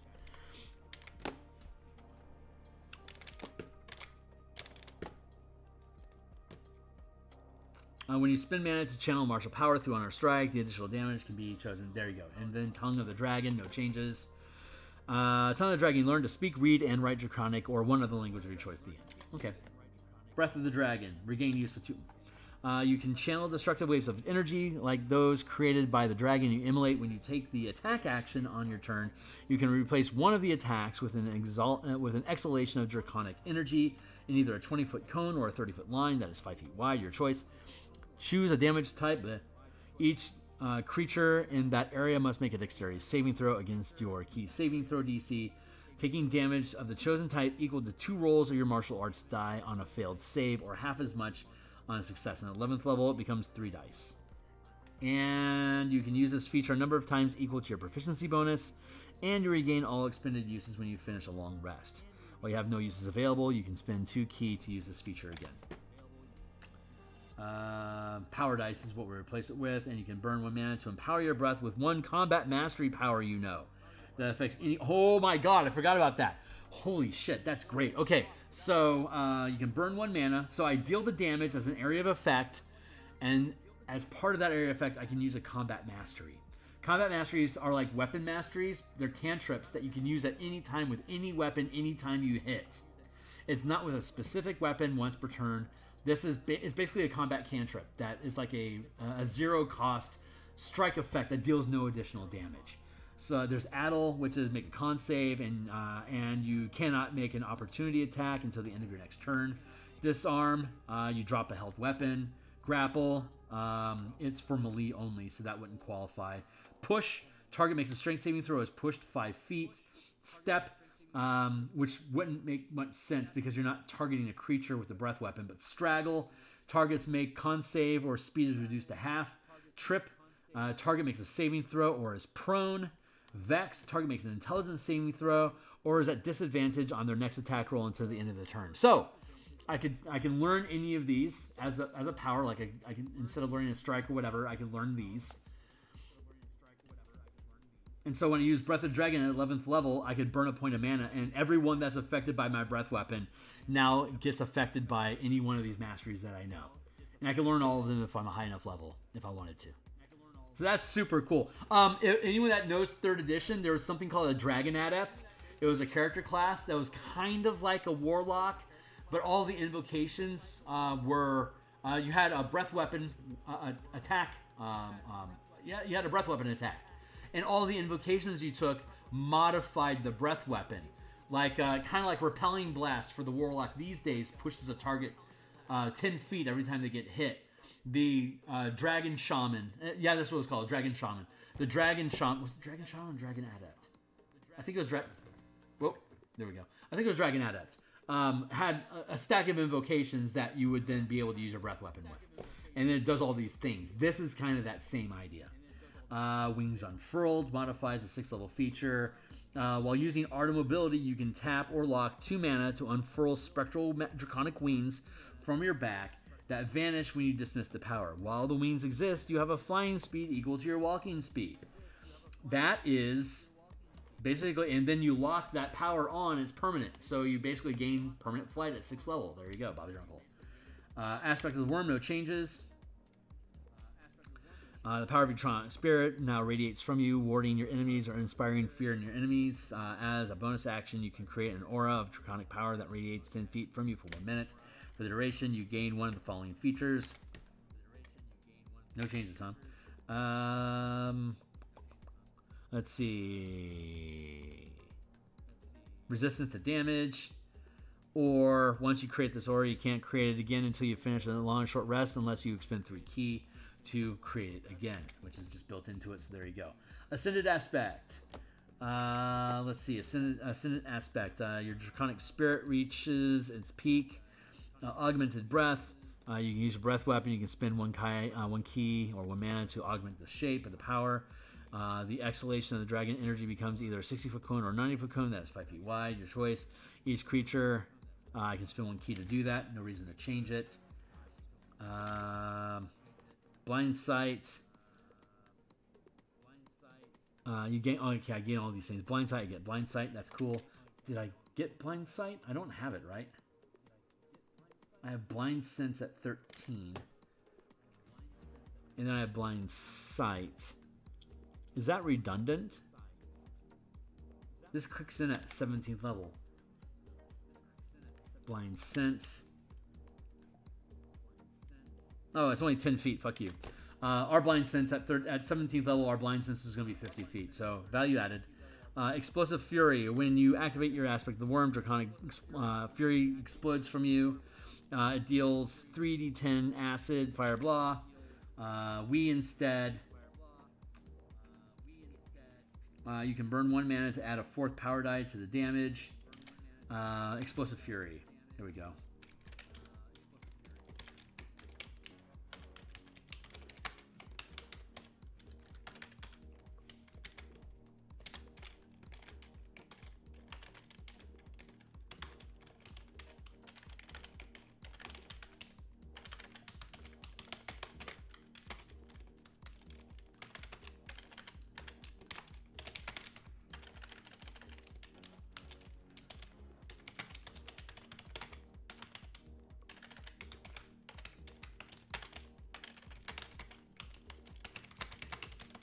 There, now it becomes relevant.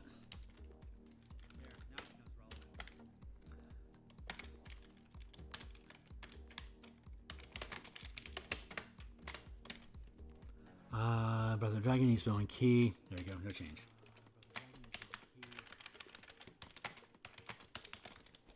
There we go. All right, Astral Self. What time is it? Nine o'clock? Time to rock.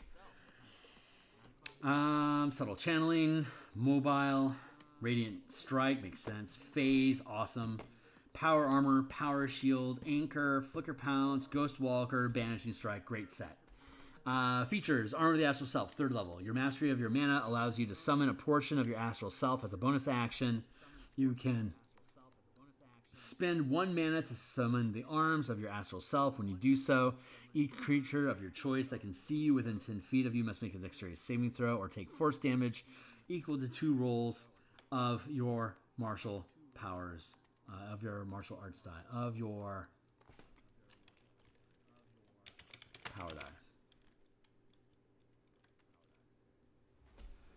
As a first rank sustained power, these spectral arms hover near your shoulders or, around, or surround your arms, your choice. You determine the arm's appearance and they vanish uh, when you're incapacitated or die. While the spectral arms are present, you gain the following benefits.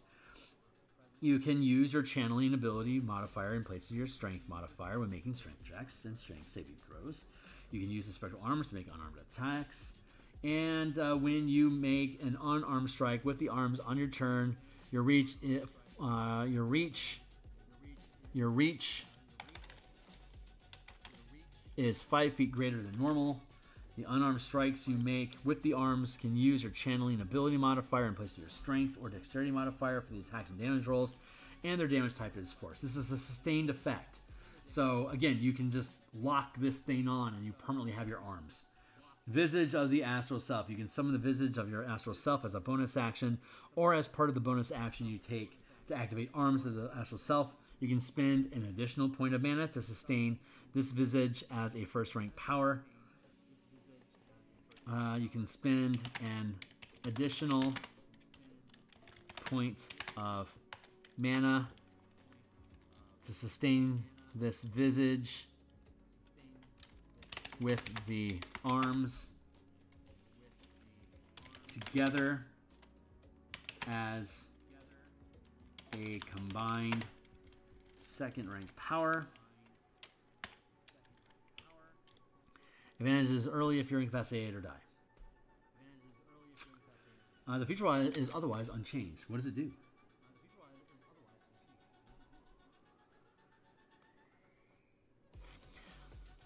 The spectral visage covers your face like a helmet or mask. You determine its appearance. While the visage is present, you gain the following benefits. Astral sight. You can see normal in darkness, both magical and dark, up to 120 feet. Wisdom of spirit. You have advantage on wisdom and charisma saving uh, checks. Neat. Uh, word of the spirit. When you speak, you can direct your words to a creature of your choice that you can see within 60 feet of you, making it so only that creature can hear you. Or you can amplify your feet so everyone can hear within 600 feet. Neat. Body of the astral self, 11th level. While sustaining both your arms and visage, you can cause the body of the astral self to appear. No action required. Uh, this spectral body covers your physical form like a suit of armor, connecting with the arms and the visage. Your, you determine its appearance. While the spectral body is present, you gain the following benefits: deflect energy. You have when you take damage, you can use reaction to deflect it. When doing so, the damage you take is reduced by D10 plus your channeling ability modifier, minimum reduction of one. Uh, empowered arms, that's 11th level, is reduced.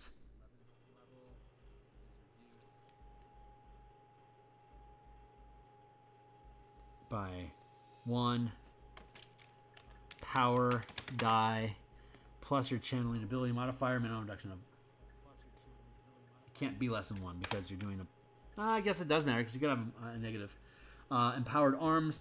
Uh, when you hit a target with arms of the astral self, you can deal extra damage to the target equal to your equal to one power die. And awakened astral self. Oh, why does it say third level? 17th level, thank you. Your connection to your astral self is complete, allowing you to unleash its full potential. As a bonus action, you can sustain four mana to summon the arms, visage, and body of your astral self and awaken it while sustained. This awaken this awakening ends early if you are incapacitated or die. While the astral self is awakened, you gain the following benefits. Now, this is four mana. Um, you can sustain this; it's basically permanently on and uh, Armor of the Spirit, gain plus two bonus armor class. Astral Barrage, uh, whenever you uh, whenever you use the extra attack feature to attack twice, you can instead attack three times if all the attacks are made with your astral arms. When you when you use the extra attack feature,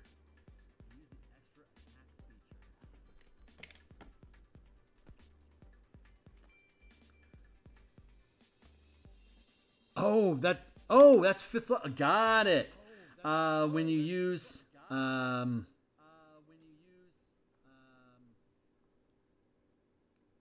let's see. I want to word that differently. Whenever you use the attack action.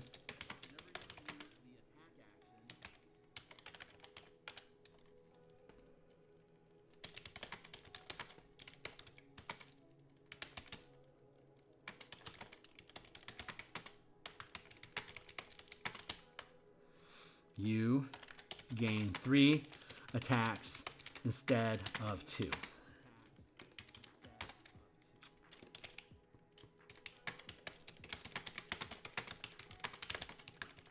Empowered maneuvers with the empowered maneuvers and empowered attack features. Value. Alternatively, you can forego the two extra attacks. Oh, there you go. Yep, better language. Better language. Way of the I love Way of the Drunken Master. It's so fun. Uh, Savage Attacker makes sense. Defensive Duelist makes sense. Strange Metabolism makes sense. Makes you immune to poison. Uh, crouching Stance also makes sense. Um, crouching Stance is pretty cool. Check this out. Uh, let's go find it.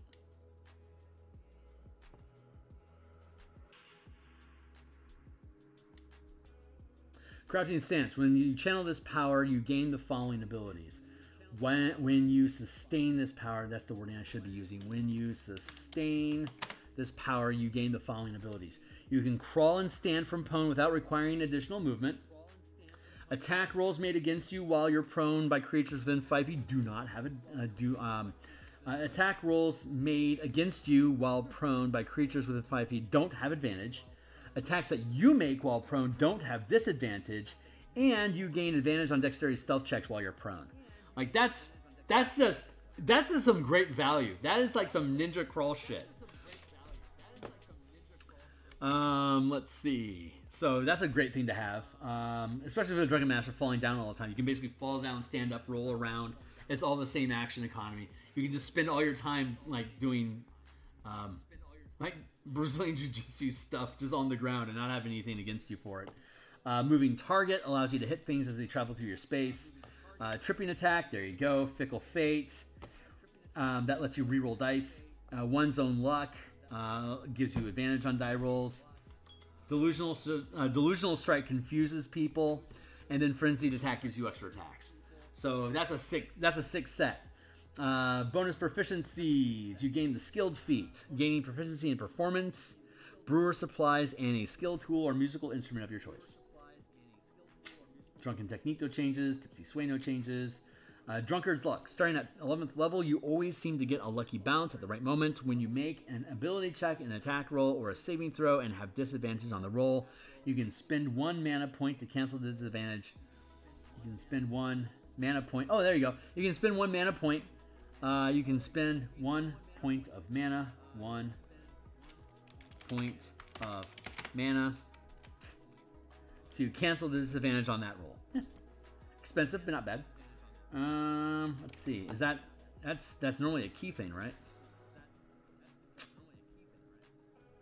Oh, it's two ki over here. Fuck you. Jesus Christ, that's so. Ex- Why do you guys think disadvantage is so expensive? You have no idea how to balance your own game. Whatever, dude. Uh, while uh, while sustaining flurry of attacks, you can make up to three attacks instead of two. That's just oh, that's awesome. Um, let's see. Way of the, oh, Way of the Four Elements is super sick. Uh, Way of the Four Elements. C Marshall. Uh, C Elemental Ki. There you go. Um, you can just free and again, full preview. The entire book is here for you to take a look at. If you find value in the stuff that I do, um, read it. If you like it, please buy it. Uh, it encourages it encourages more behavior like this if you do.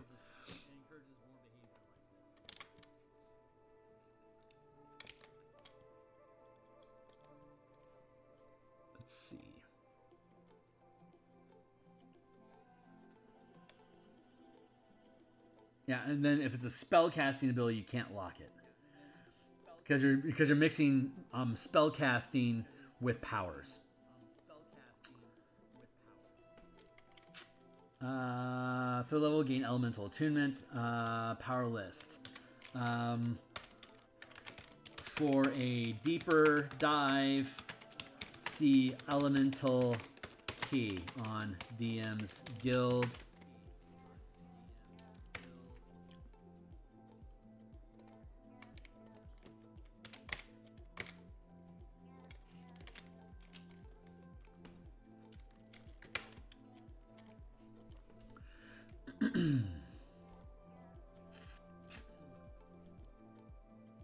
These are all the these are all the abilities that are already inside of the Elemental Keybook. So I'm just gonna skip past that. You can see that at your leisure. I know that stuff is good. Uh, oh god, Kensei's so fucking cool. Um, you get the step mastery, so whenever you hit with an attack, you can take a five foot step without attack of opportunity. Dire impact allows you to add your channeling, um, your your max channeling rank to your damage. Feint uh, allows you to uh, roll a power dice to get extra attack when you're attacking with a weapon. Gifted Artisan allows you to roll additional dice to improve um, artsy die rolls. Um, parry allows you to reduce damage. Evasive footwork increases your armor class when you move. Extended attack gives you additional reach.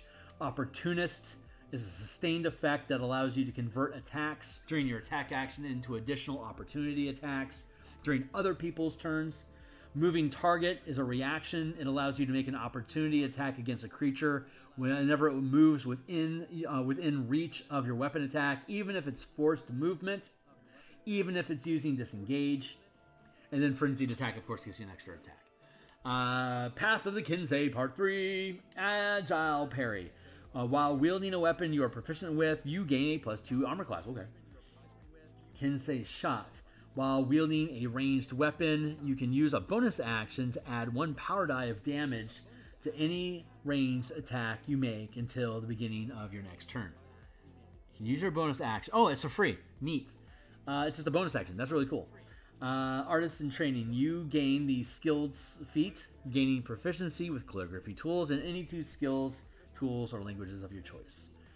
Uh, one with the blade, magical Kensei weapon. You gain two weapon damage types of your choice listed in the powers section below.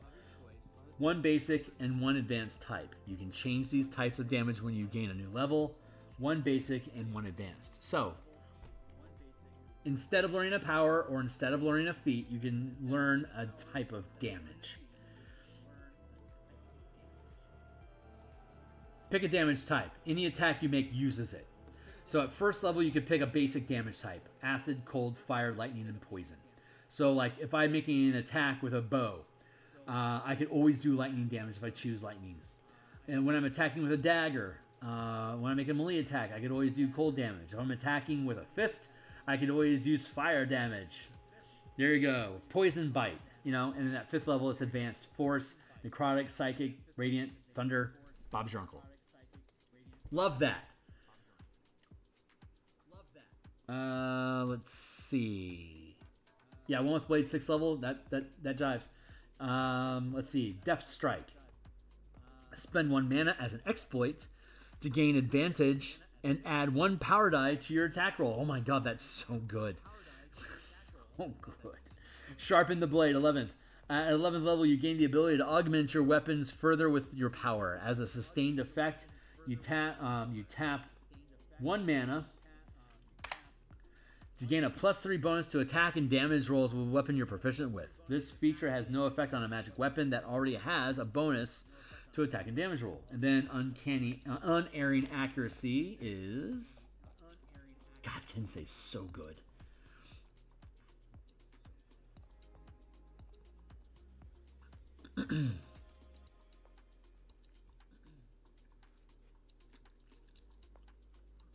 um. Interesting. Okay. Unerring accuracy. At 17th level, your mastery of weapons grants you extraordinary accuracy. If you miss with an attack uh, using a monk weapon, you on your turn you can re-roll it. You can use this feature only once on each of your turns. Okay. Kensei weapon, huh? Uh, when you reach 17th level of this class, you can choose another type of weapon, either weapon or to be a Kensei weapon for you. Oh, yeah, that's silly. Um, the uh, just so as you know, is uh, one of the things. Um, You're proficient with all simple and martial weapons. And Kensei weapon. Uh, Death Strike, one with the blade. I feel like I'm missing some Kensei weapons. There we go.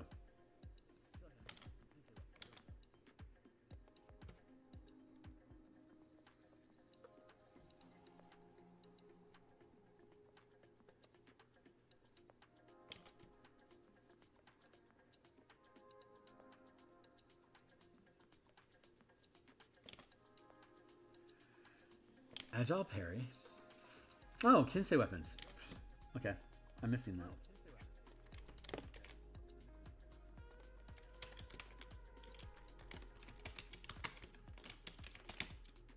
I can't believe I don't have this included here. How silly.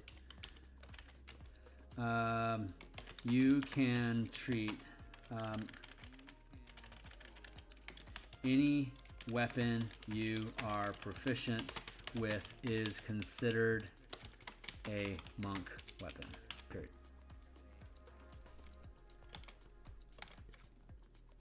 Way of the Long Death.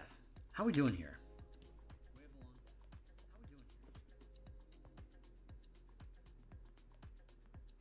Way of the Cobalt Souls. Bullshit. We can ignore that. One, two, three. Okay, three to go. Hey, we got this. One, two, three. And when we come back at lunchtime tomorrow, we'll work through the Ranger and the Paladin.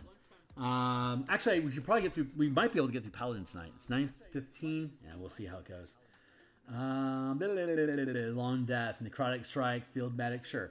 Necrotic damage, Swiss resuscitation, great. Life stealing strike, dire impact, sure. Curse of the fallen puppet. Uh, we took the entire Blood Hunter um, um, emo class that uh, Mercer had created and put on Games Guild. We took the entire, we took everything from um, the, um, um, yeah, from the Blood Hunter, and we converted it to martial powers. So you could be a Ranger Blood Hunter, you could be a Paladin Blood Hunter, a, Monk Blood Hunter. All of the curses, uh, effects, uh, class features, uh, virtually all of it's inside of here. Uh, Curse of the Fallen Puppet, that's awesome. Daunting Presence, sure. Assassinating Damage is awesome. Rider Revival, perfect. God, what a great mix. Uh, Touch of Death, no changes. Hour of Reaping, no changes. Well, now I'm just compelled to see. I think uh, I think the um, I think Blood Hunter makes an awesome ranger. Honestly, taking all taking all those curses and and effects or whatever those things are called, and converting them into powers that a ranger could then spend mana on to use or sustain. Oh, that's so cool. Uh, let's see, Touch of Death. Starting when you choose this power at third, uh, you study death allows you to extract vitality from another creature as it nears its demise. When you reduce a creature within 5 feet of you to 0 hit points, you gain temporary hit points equal to your wisdom modifier plus your monk level, minimum of 1 temporary hit points.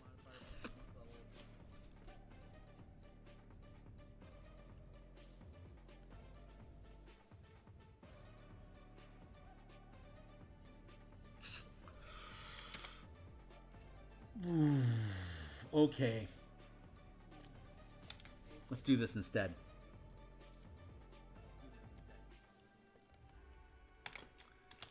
When you reduce a creature to zero, reduce a creature within five feet. When you reduce a creature, when when you reduce a creature to zero HP, that is within reach of your weapon attack, you gain a number of temporary hit points equal to one power die plus your channeling ability modifier minimum of one. Alternatively, you can regain one point of mana. Do I want to do that?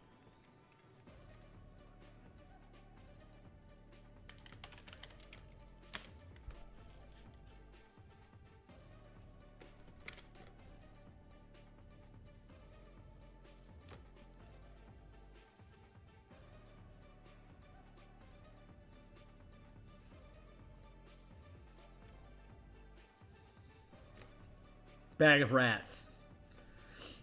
There's a bag of rat problem here.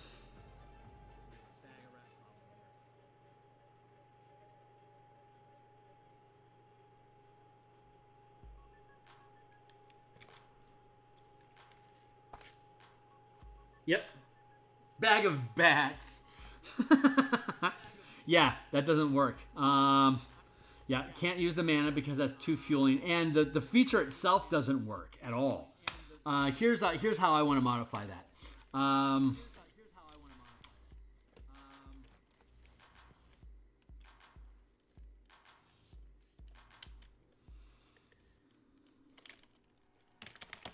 during combat, when a creature that has dealt damage to you is reduced to zero hit points while within reach of your weapon attack,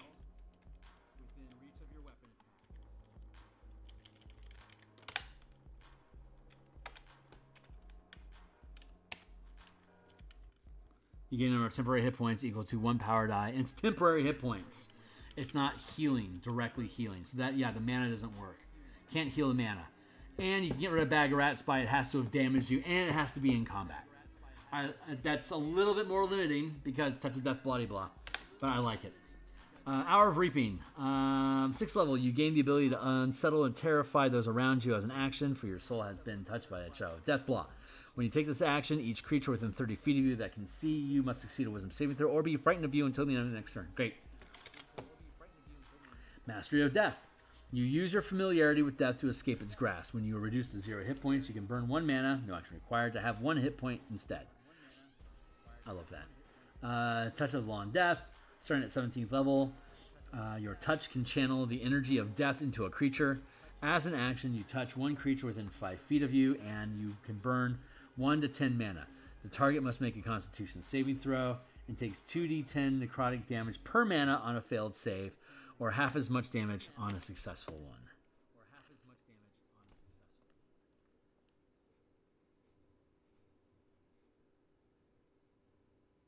Poof, wow. That's insane. I love it. Way of the open hand. Fighting Initiate. That's great. Gain a fighter, basically a, a combat maneuver. Uh, Tavern Brawler.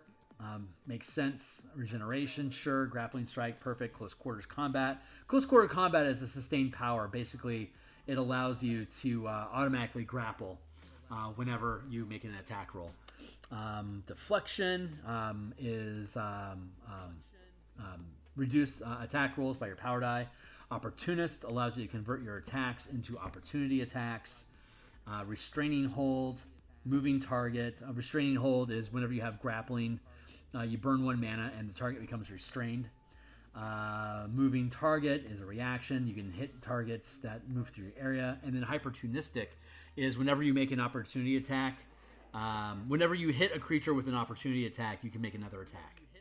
Uh, basically, you can double tap as a reaction. and of course, opportunity attacks can trigger strikes.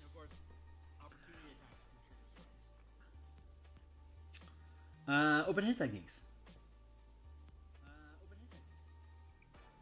Starting when you choose this tradition at third level, you can choose four combat masteries to add to your list of powers known. And you can add an additional combat mastery when you gain another rank of power as a monk. Let's make sure we still have. Let's let's verify how many combat masteries we currently have in the game.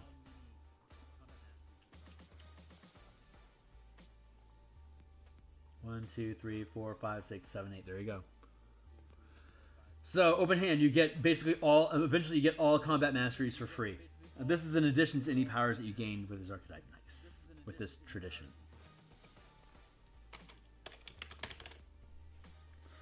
Uh, sixth level, you can heal yourself as a maneuver. Healing a number of hit points equal to a number of power dice equal to the number of mana. Hmm.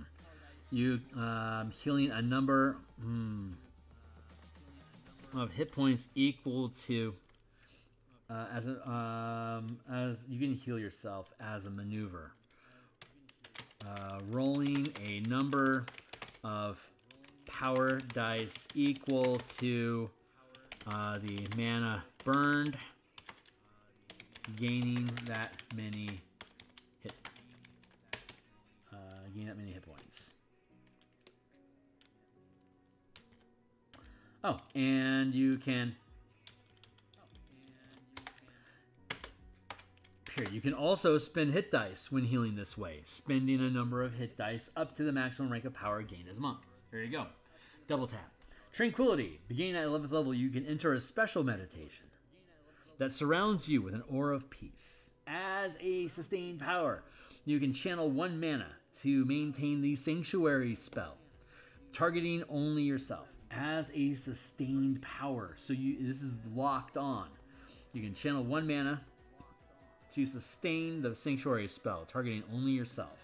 A creature attempting to attack you, as described in the spell, must make a Wisdom saving throw against your channeling DC.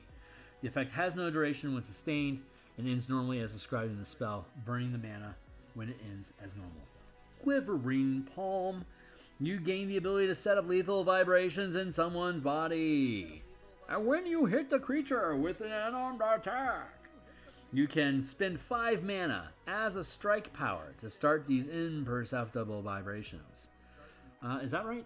What is Quivering Palm supposed to be? Three ki, I need it five. As a strike power, start imperceptible vibrations uh, which lasts for a number of days equal to your monk level. The vibrations are harmless unless you trigger the vibrations. Uh, to do so, the target must be on the same plane of existence when you trigger the vibrations. The target must make a con save. Fail equals zero hit points. Success equals 10d10 necrotic damage. You can only have one. You can have only one creature.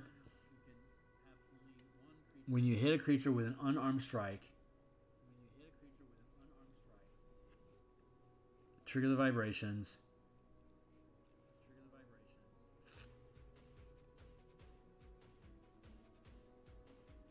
Lasts for eh, as an action. Uh, the vibrations are harmless unless you trigger the vibrations to end them as an action or a bonus action. Thank you. Uh, they gotta be on the same plane of existence. They either drop to zero or 10d10 necrotic. There you go. Uh, you can only have one creature under the effect of this at a time. You can choose to end the vibrations harmlessly without using any action. There you go. Sun Soul. Last one on the monk set, I believe, right? Yep.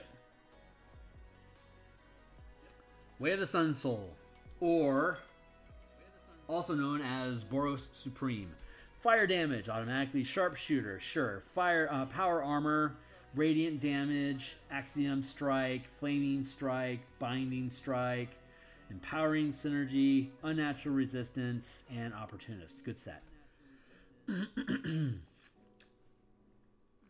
Radiant Sun Bolt. Starting when you choose this tradition at third level, you can hurl searing bolts of magical radiance.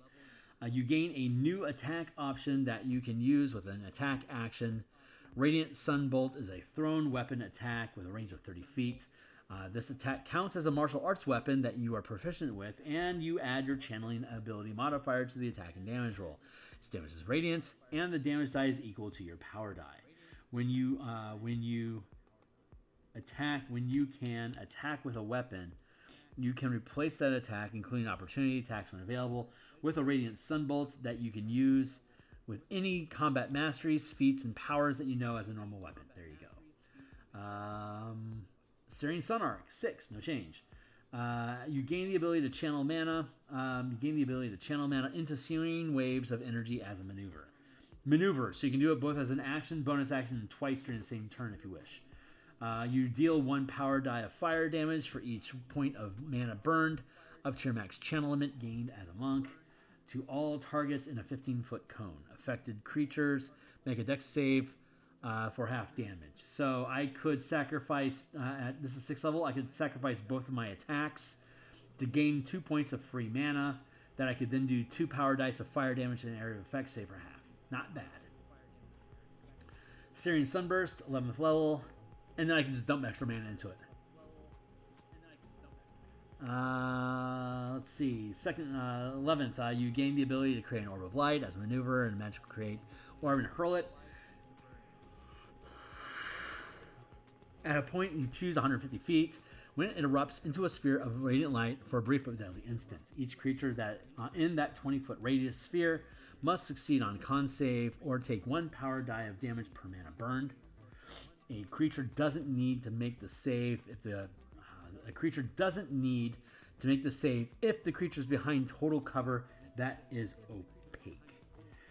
at 17th level, you become wreathed in a luminous magical aura. You shed bright light in a 30 foot radius and dim light for 30 feet. You can extinguish or restore the light as a bonus action. If a creature hits you with a melee attack while this light shines, you can use your reaction as an opportunity attack to deal radiant damage to that creature. The radiant damage equals one power die plus channeling ability modifier. There you go. So, that's Monk. Uh, I think the language is clean. Uh, I think we're going to be seeing changes to some of the stuff in 2024. Maybe I'm not sure how much they're going to actually build out in 2024, but uh, but that's all kosher with how martial power stands right now, and and the modifications that we've already made to the monk using the elemental keybook.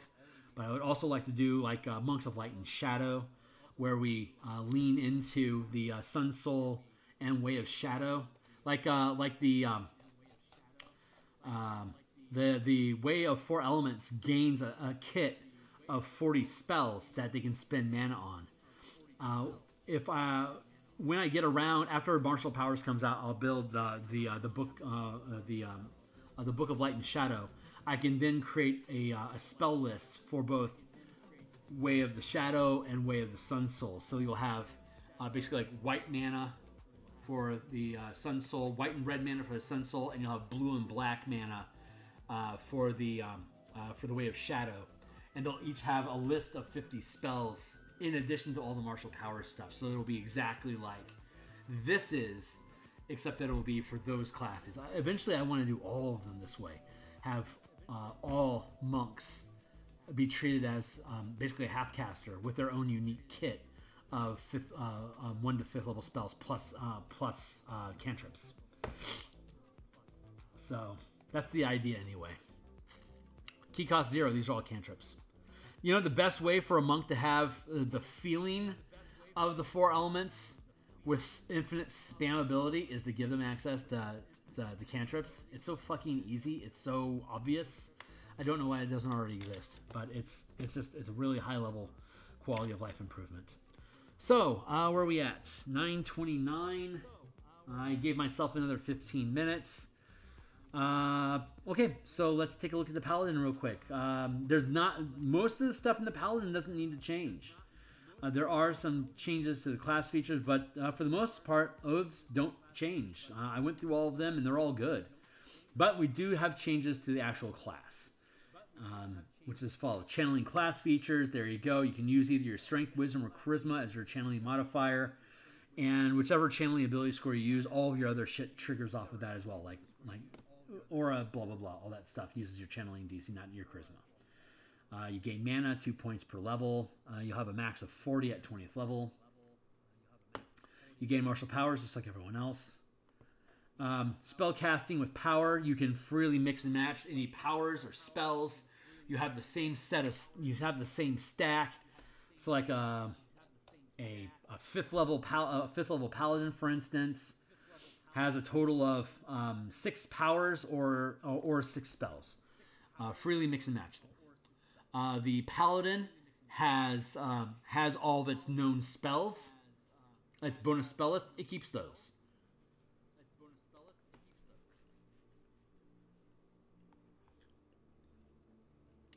Uh, the divine smite spells are removed and use strike powers. Unless if you don't want to use strike powers, you can keep using divine smite if you so you can either use strike powers or you can use divine smite. I recommend strike powers; they're more versatile. Um, empowered maneuvers. We already know what that is. Sacrifice attacks to get free mana to spend on uh, maneuvers as a bonus action. Lay on hands. I love this. This is so fun. Okay, so a lot of the paladin's identity is disintegrated because all martial characters now have access to strikes. So where where does that take the paladin? The paladin has auras, transformations, and lay on hands. That's basically the things that make it stand out from other stuff. So what is that? And it has the spell casting, of course, which is also because it's a hybrid. That also makes it different, but that leans away from smites. So if you're taking away from its unique identity with smites, and you're giving that to everyone else, how do you lean the the paladin into being its own thing? Lean into the divinity aspect. So divine recovery. As a bonus action, you can spend hit points in your healing pool to regain spent mana. For every five hit points spent in your healing pool, uh, lay on hands. So we're modifying lay on hands. Um, as as it stands, you get five hit points per level as a paladin, 100 at 20th level, five at first. As a bonus action, instead of healing somebody, you can spend hit points in your healing pool to regain spent mana. For every hit five hit points spent in your healing pool, you regain one point of mana. You regain a number of points of mana this way each round up to your max channel limit gained as a paladin. So at 5th level, you have a pool of 25 hit points or 5 mana that you can give back to yourself 2 mana per bonus action. Alternatively, as an action, as a bonus action, you give it to yourself. As an action, you can give it to another character. So now the paladin becomes a mana battery. The artificer can create power stones to give them extra mana as a as a, an object that they can attune to and then sap mana from. But the paladin itself is its own living power stone that charges up to 20 mana. The paladin gets 40 mana at 20th level, and then if you wanted to be greedy and burn lay on hands on yourself, over the course of a day, you get 60 mana instead of just 40. So now you've got a shitload of mana for you to be able to throw around casting spells, throwing out smite abilities, whatever you want to do. Divine Strike replaces Divine Smite at second level, starting at second level when you channel a strike power through a melee weapon attack. You roll one additional die of damage equal to your power die. The damage can be radiant instead of the type listed for the strike power's description. So, like if I were to use Shocking Strike, I could use lightning damage, or I could use radiant damage, or I could use the weapon damage, like like slashing if it's a sword. Um, so a paladin spends one point of mana to channel a strike, and you get a free die, an extra power die of damage as a result of it. So everyone can use strikes. Paladins do it better than everyone else. There you go. Um, the extra strike, uh, this extra die doesn't increase the rank of the strike channel. There you go. It's just free. Channel Divinity modifies Channel Divinity at third level. Harness Divine Power. Okay, so modify the Channel Harness Divine Power at third level. You can burn two mana to regain use of a Channel Divinity, which is awesome. So Channel Divinity basically becomes a unique Paladin only maneuver, reaction, sustained effect, or strike power. Now, I've gone through all of them before. They're all legit.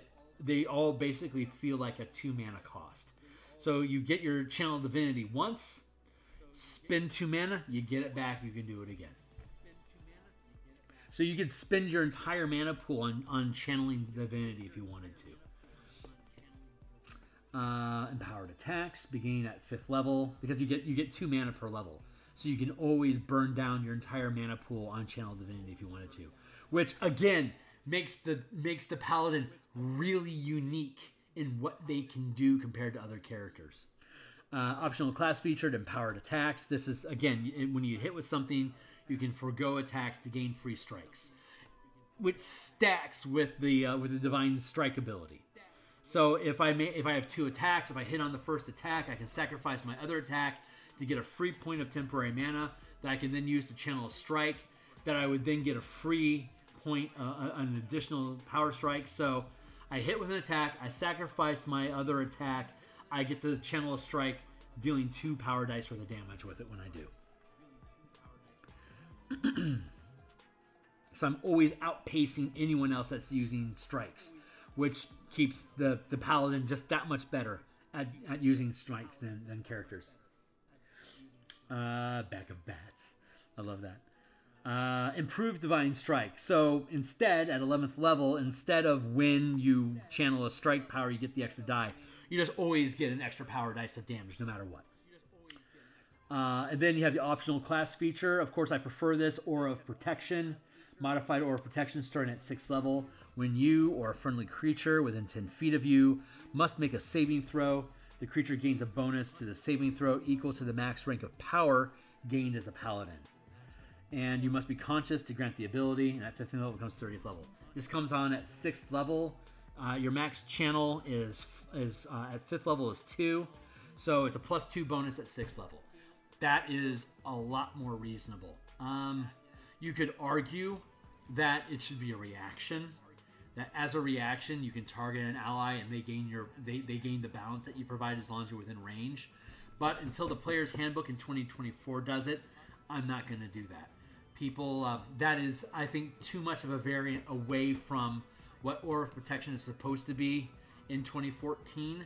But this is a much easier way to curb their to, to curb how broken that is. And then at 18th level becomes 20th level. And then Cleansing Touch, modified Cleansing Touch at 14th level. Uh, charisma bonus per long rest. You can spend four mana to use it again. Uh, cleansing touch, like it- it's like uh, it's like a um, um, restoration. And then uh, oaths of power. So you have that's your subclass. Uh, paladins gain all the subclass of features with the below modification. So oath capstone feature. Um, you you can use your you can use your aura your your divine transformation. You can do it once per long rest, or you can spend five mana and you get it. You can use it again. So there you go. Super cool. Uh, I contemplated uh, making it a sustained effect, but it's going to eat your entire character's budget. So I just decided to make it free, and you can just gain it again uh, by spending five points. That, I think that was a decent compromise, and it leaves your ability to, to customize your action loop. So that's it for now. I'm going to call it quits for the night. My night, my voice is pretty much burnt out, so I need to get some sleep. Uh, we're going to come back at lunchtime tomorrow, in about uh, in about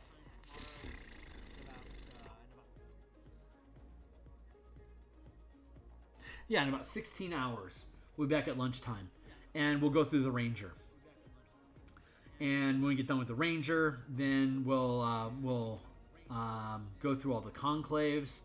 I should probably be able to get that done in an hour and a half, so I'm going to take a long lunch to be able to kick through all this. See, the, the Ranger gets if, if like the Gloomstalker gets five spells, so they get their spells plus we give them a list of five powers. Um, the uh, the Fey Wanderer gets five spells, so we give them five powers plus their five spells, so they get ten bonus something. But like the Drake Warden normally doesn't get anything, so we give them ten powers just like everyone else. Super fun, love it. so we'll go through all that, and then we'll get into the Artificer. We'll go through all that, and the Warlock. We'll go through all that, and then we'll be done. And then we'll be uh, we should be ready for uh, we'll be ready for uh, our session zero on Saturday. So I'm just going through all this to make sure everything's up to snuff. Um, if I don't get if I don't get it all done on stream tomorrow at lunch, and I probably won't, I'll probably have to dive into it for the Artificer. But uh, but I'll have it all done before game starts on Saturday, so the document will be will be updated. And uh, Goblin, uh, you and all the other playtesters, you'll have access to all this new kit. So, um, man, I I I, I um. I lament not working on Spelljammer tonight because I fucking love Spelljammer. Um, but this is a priority because our playtesting is coming up. We're going to be back tomorrow morning, continuing to work on the Eberron map. That is our primary project. We always work on that in the mornings. And I work on that a lot of time off screen as well to keep moving the ball forward. Um, we'll do this at lunchtime. When we come back, I'll do my playtest with everyone on Saturday, so I won't be streaming on Saturday for a while. When we come back on Monday in the morning, more Eberron, lunchtime we'll probably do a follow-up like a like a debriefing of how the session zero went touch, touch base with everyone. And then um, monday night we'll be back on i'll be back on spelljammer. So that's it for now. If you think this stuff is cool thanks. I'm glad you do. And uh, all this stuff you can access uh, my patreon. Again you can uh, you can access my uh, my discord community through the about page of my patreon channel the playtest is on my Patreon. You do not have to be a paying member, but it is a read-only document. My playtesters will have access to editing, so you can copy paste this stuff, so it's easy for you to be able to pick up and build your character with. Um, there you go. Stuff is fun. Um, I'll I'll go ahead and um, put put us here to check this stuff out. All these books are on DM's Guild. Check them all out. They'll have free previews. Um, that's it. So I'm going to blast out of here, and I'll catch up with everyone tomorrow. Thanks a lot. Laters.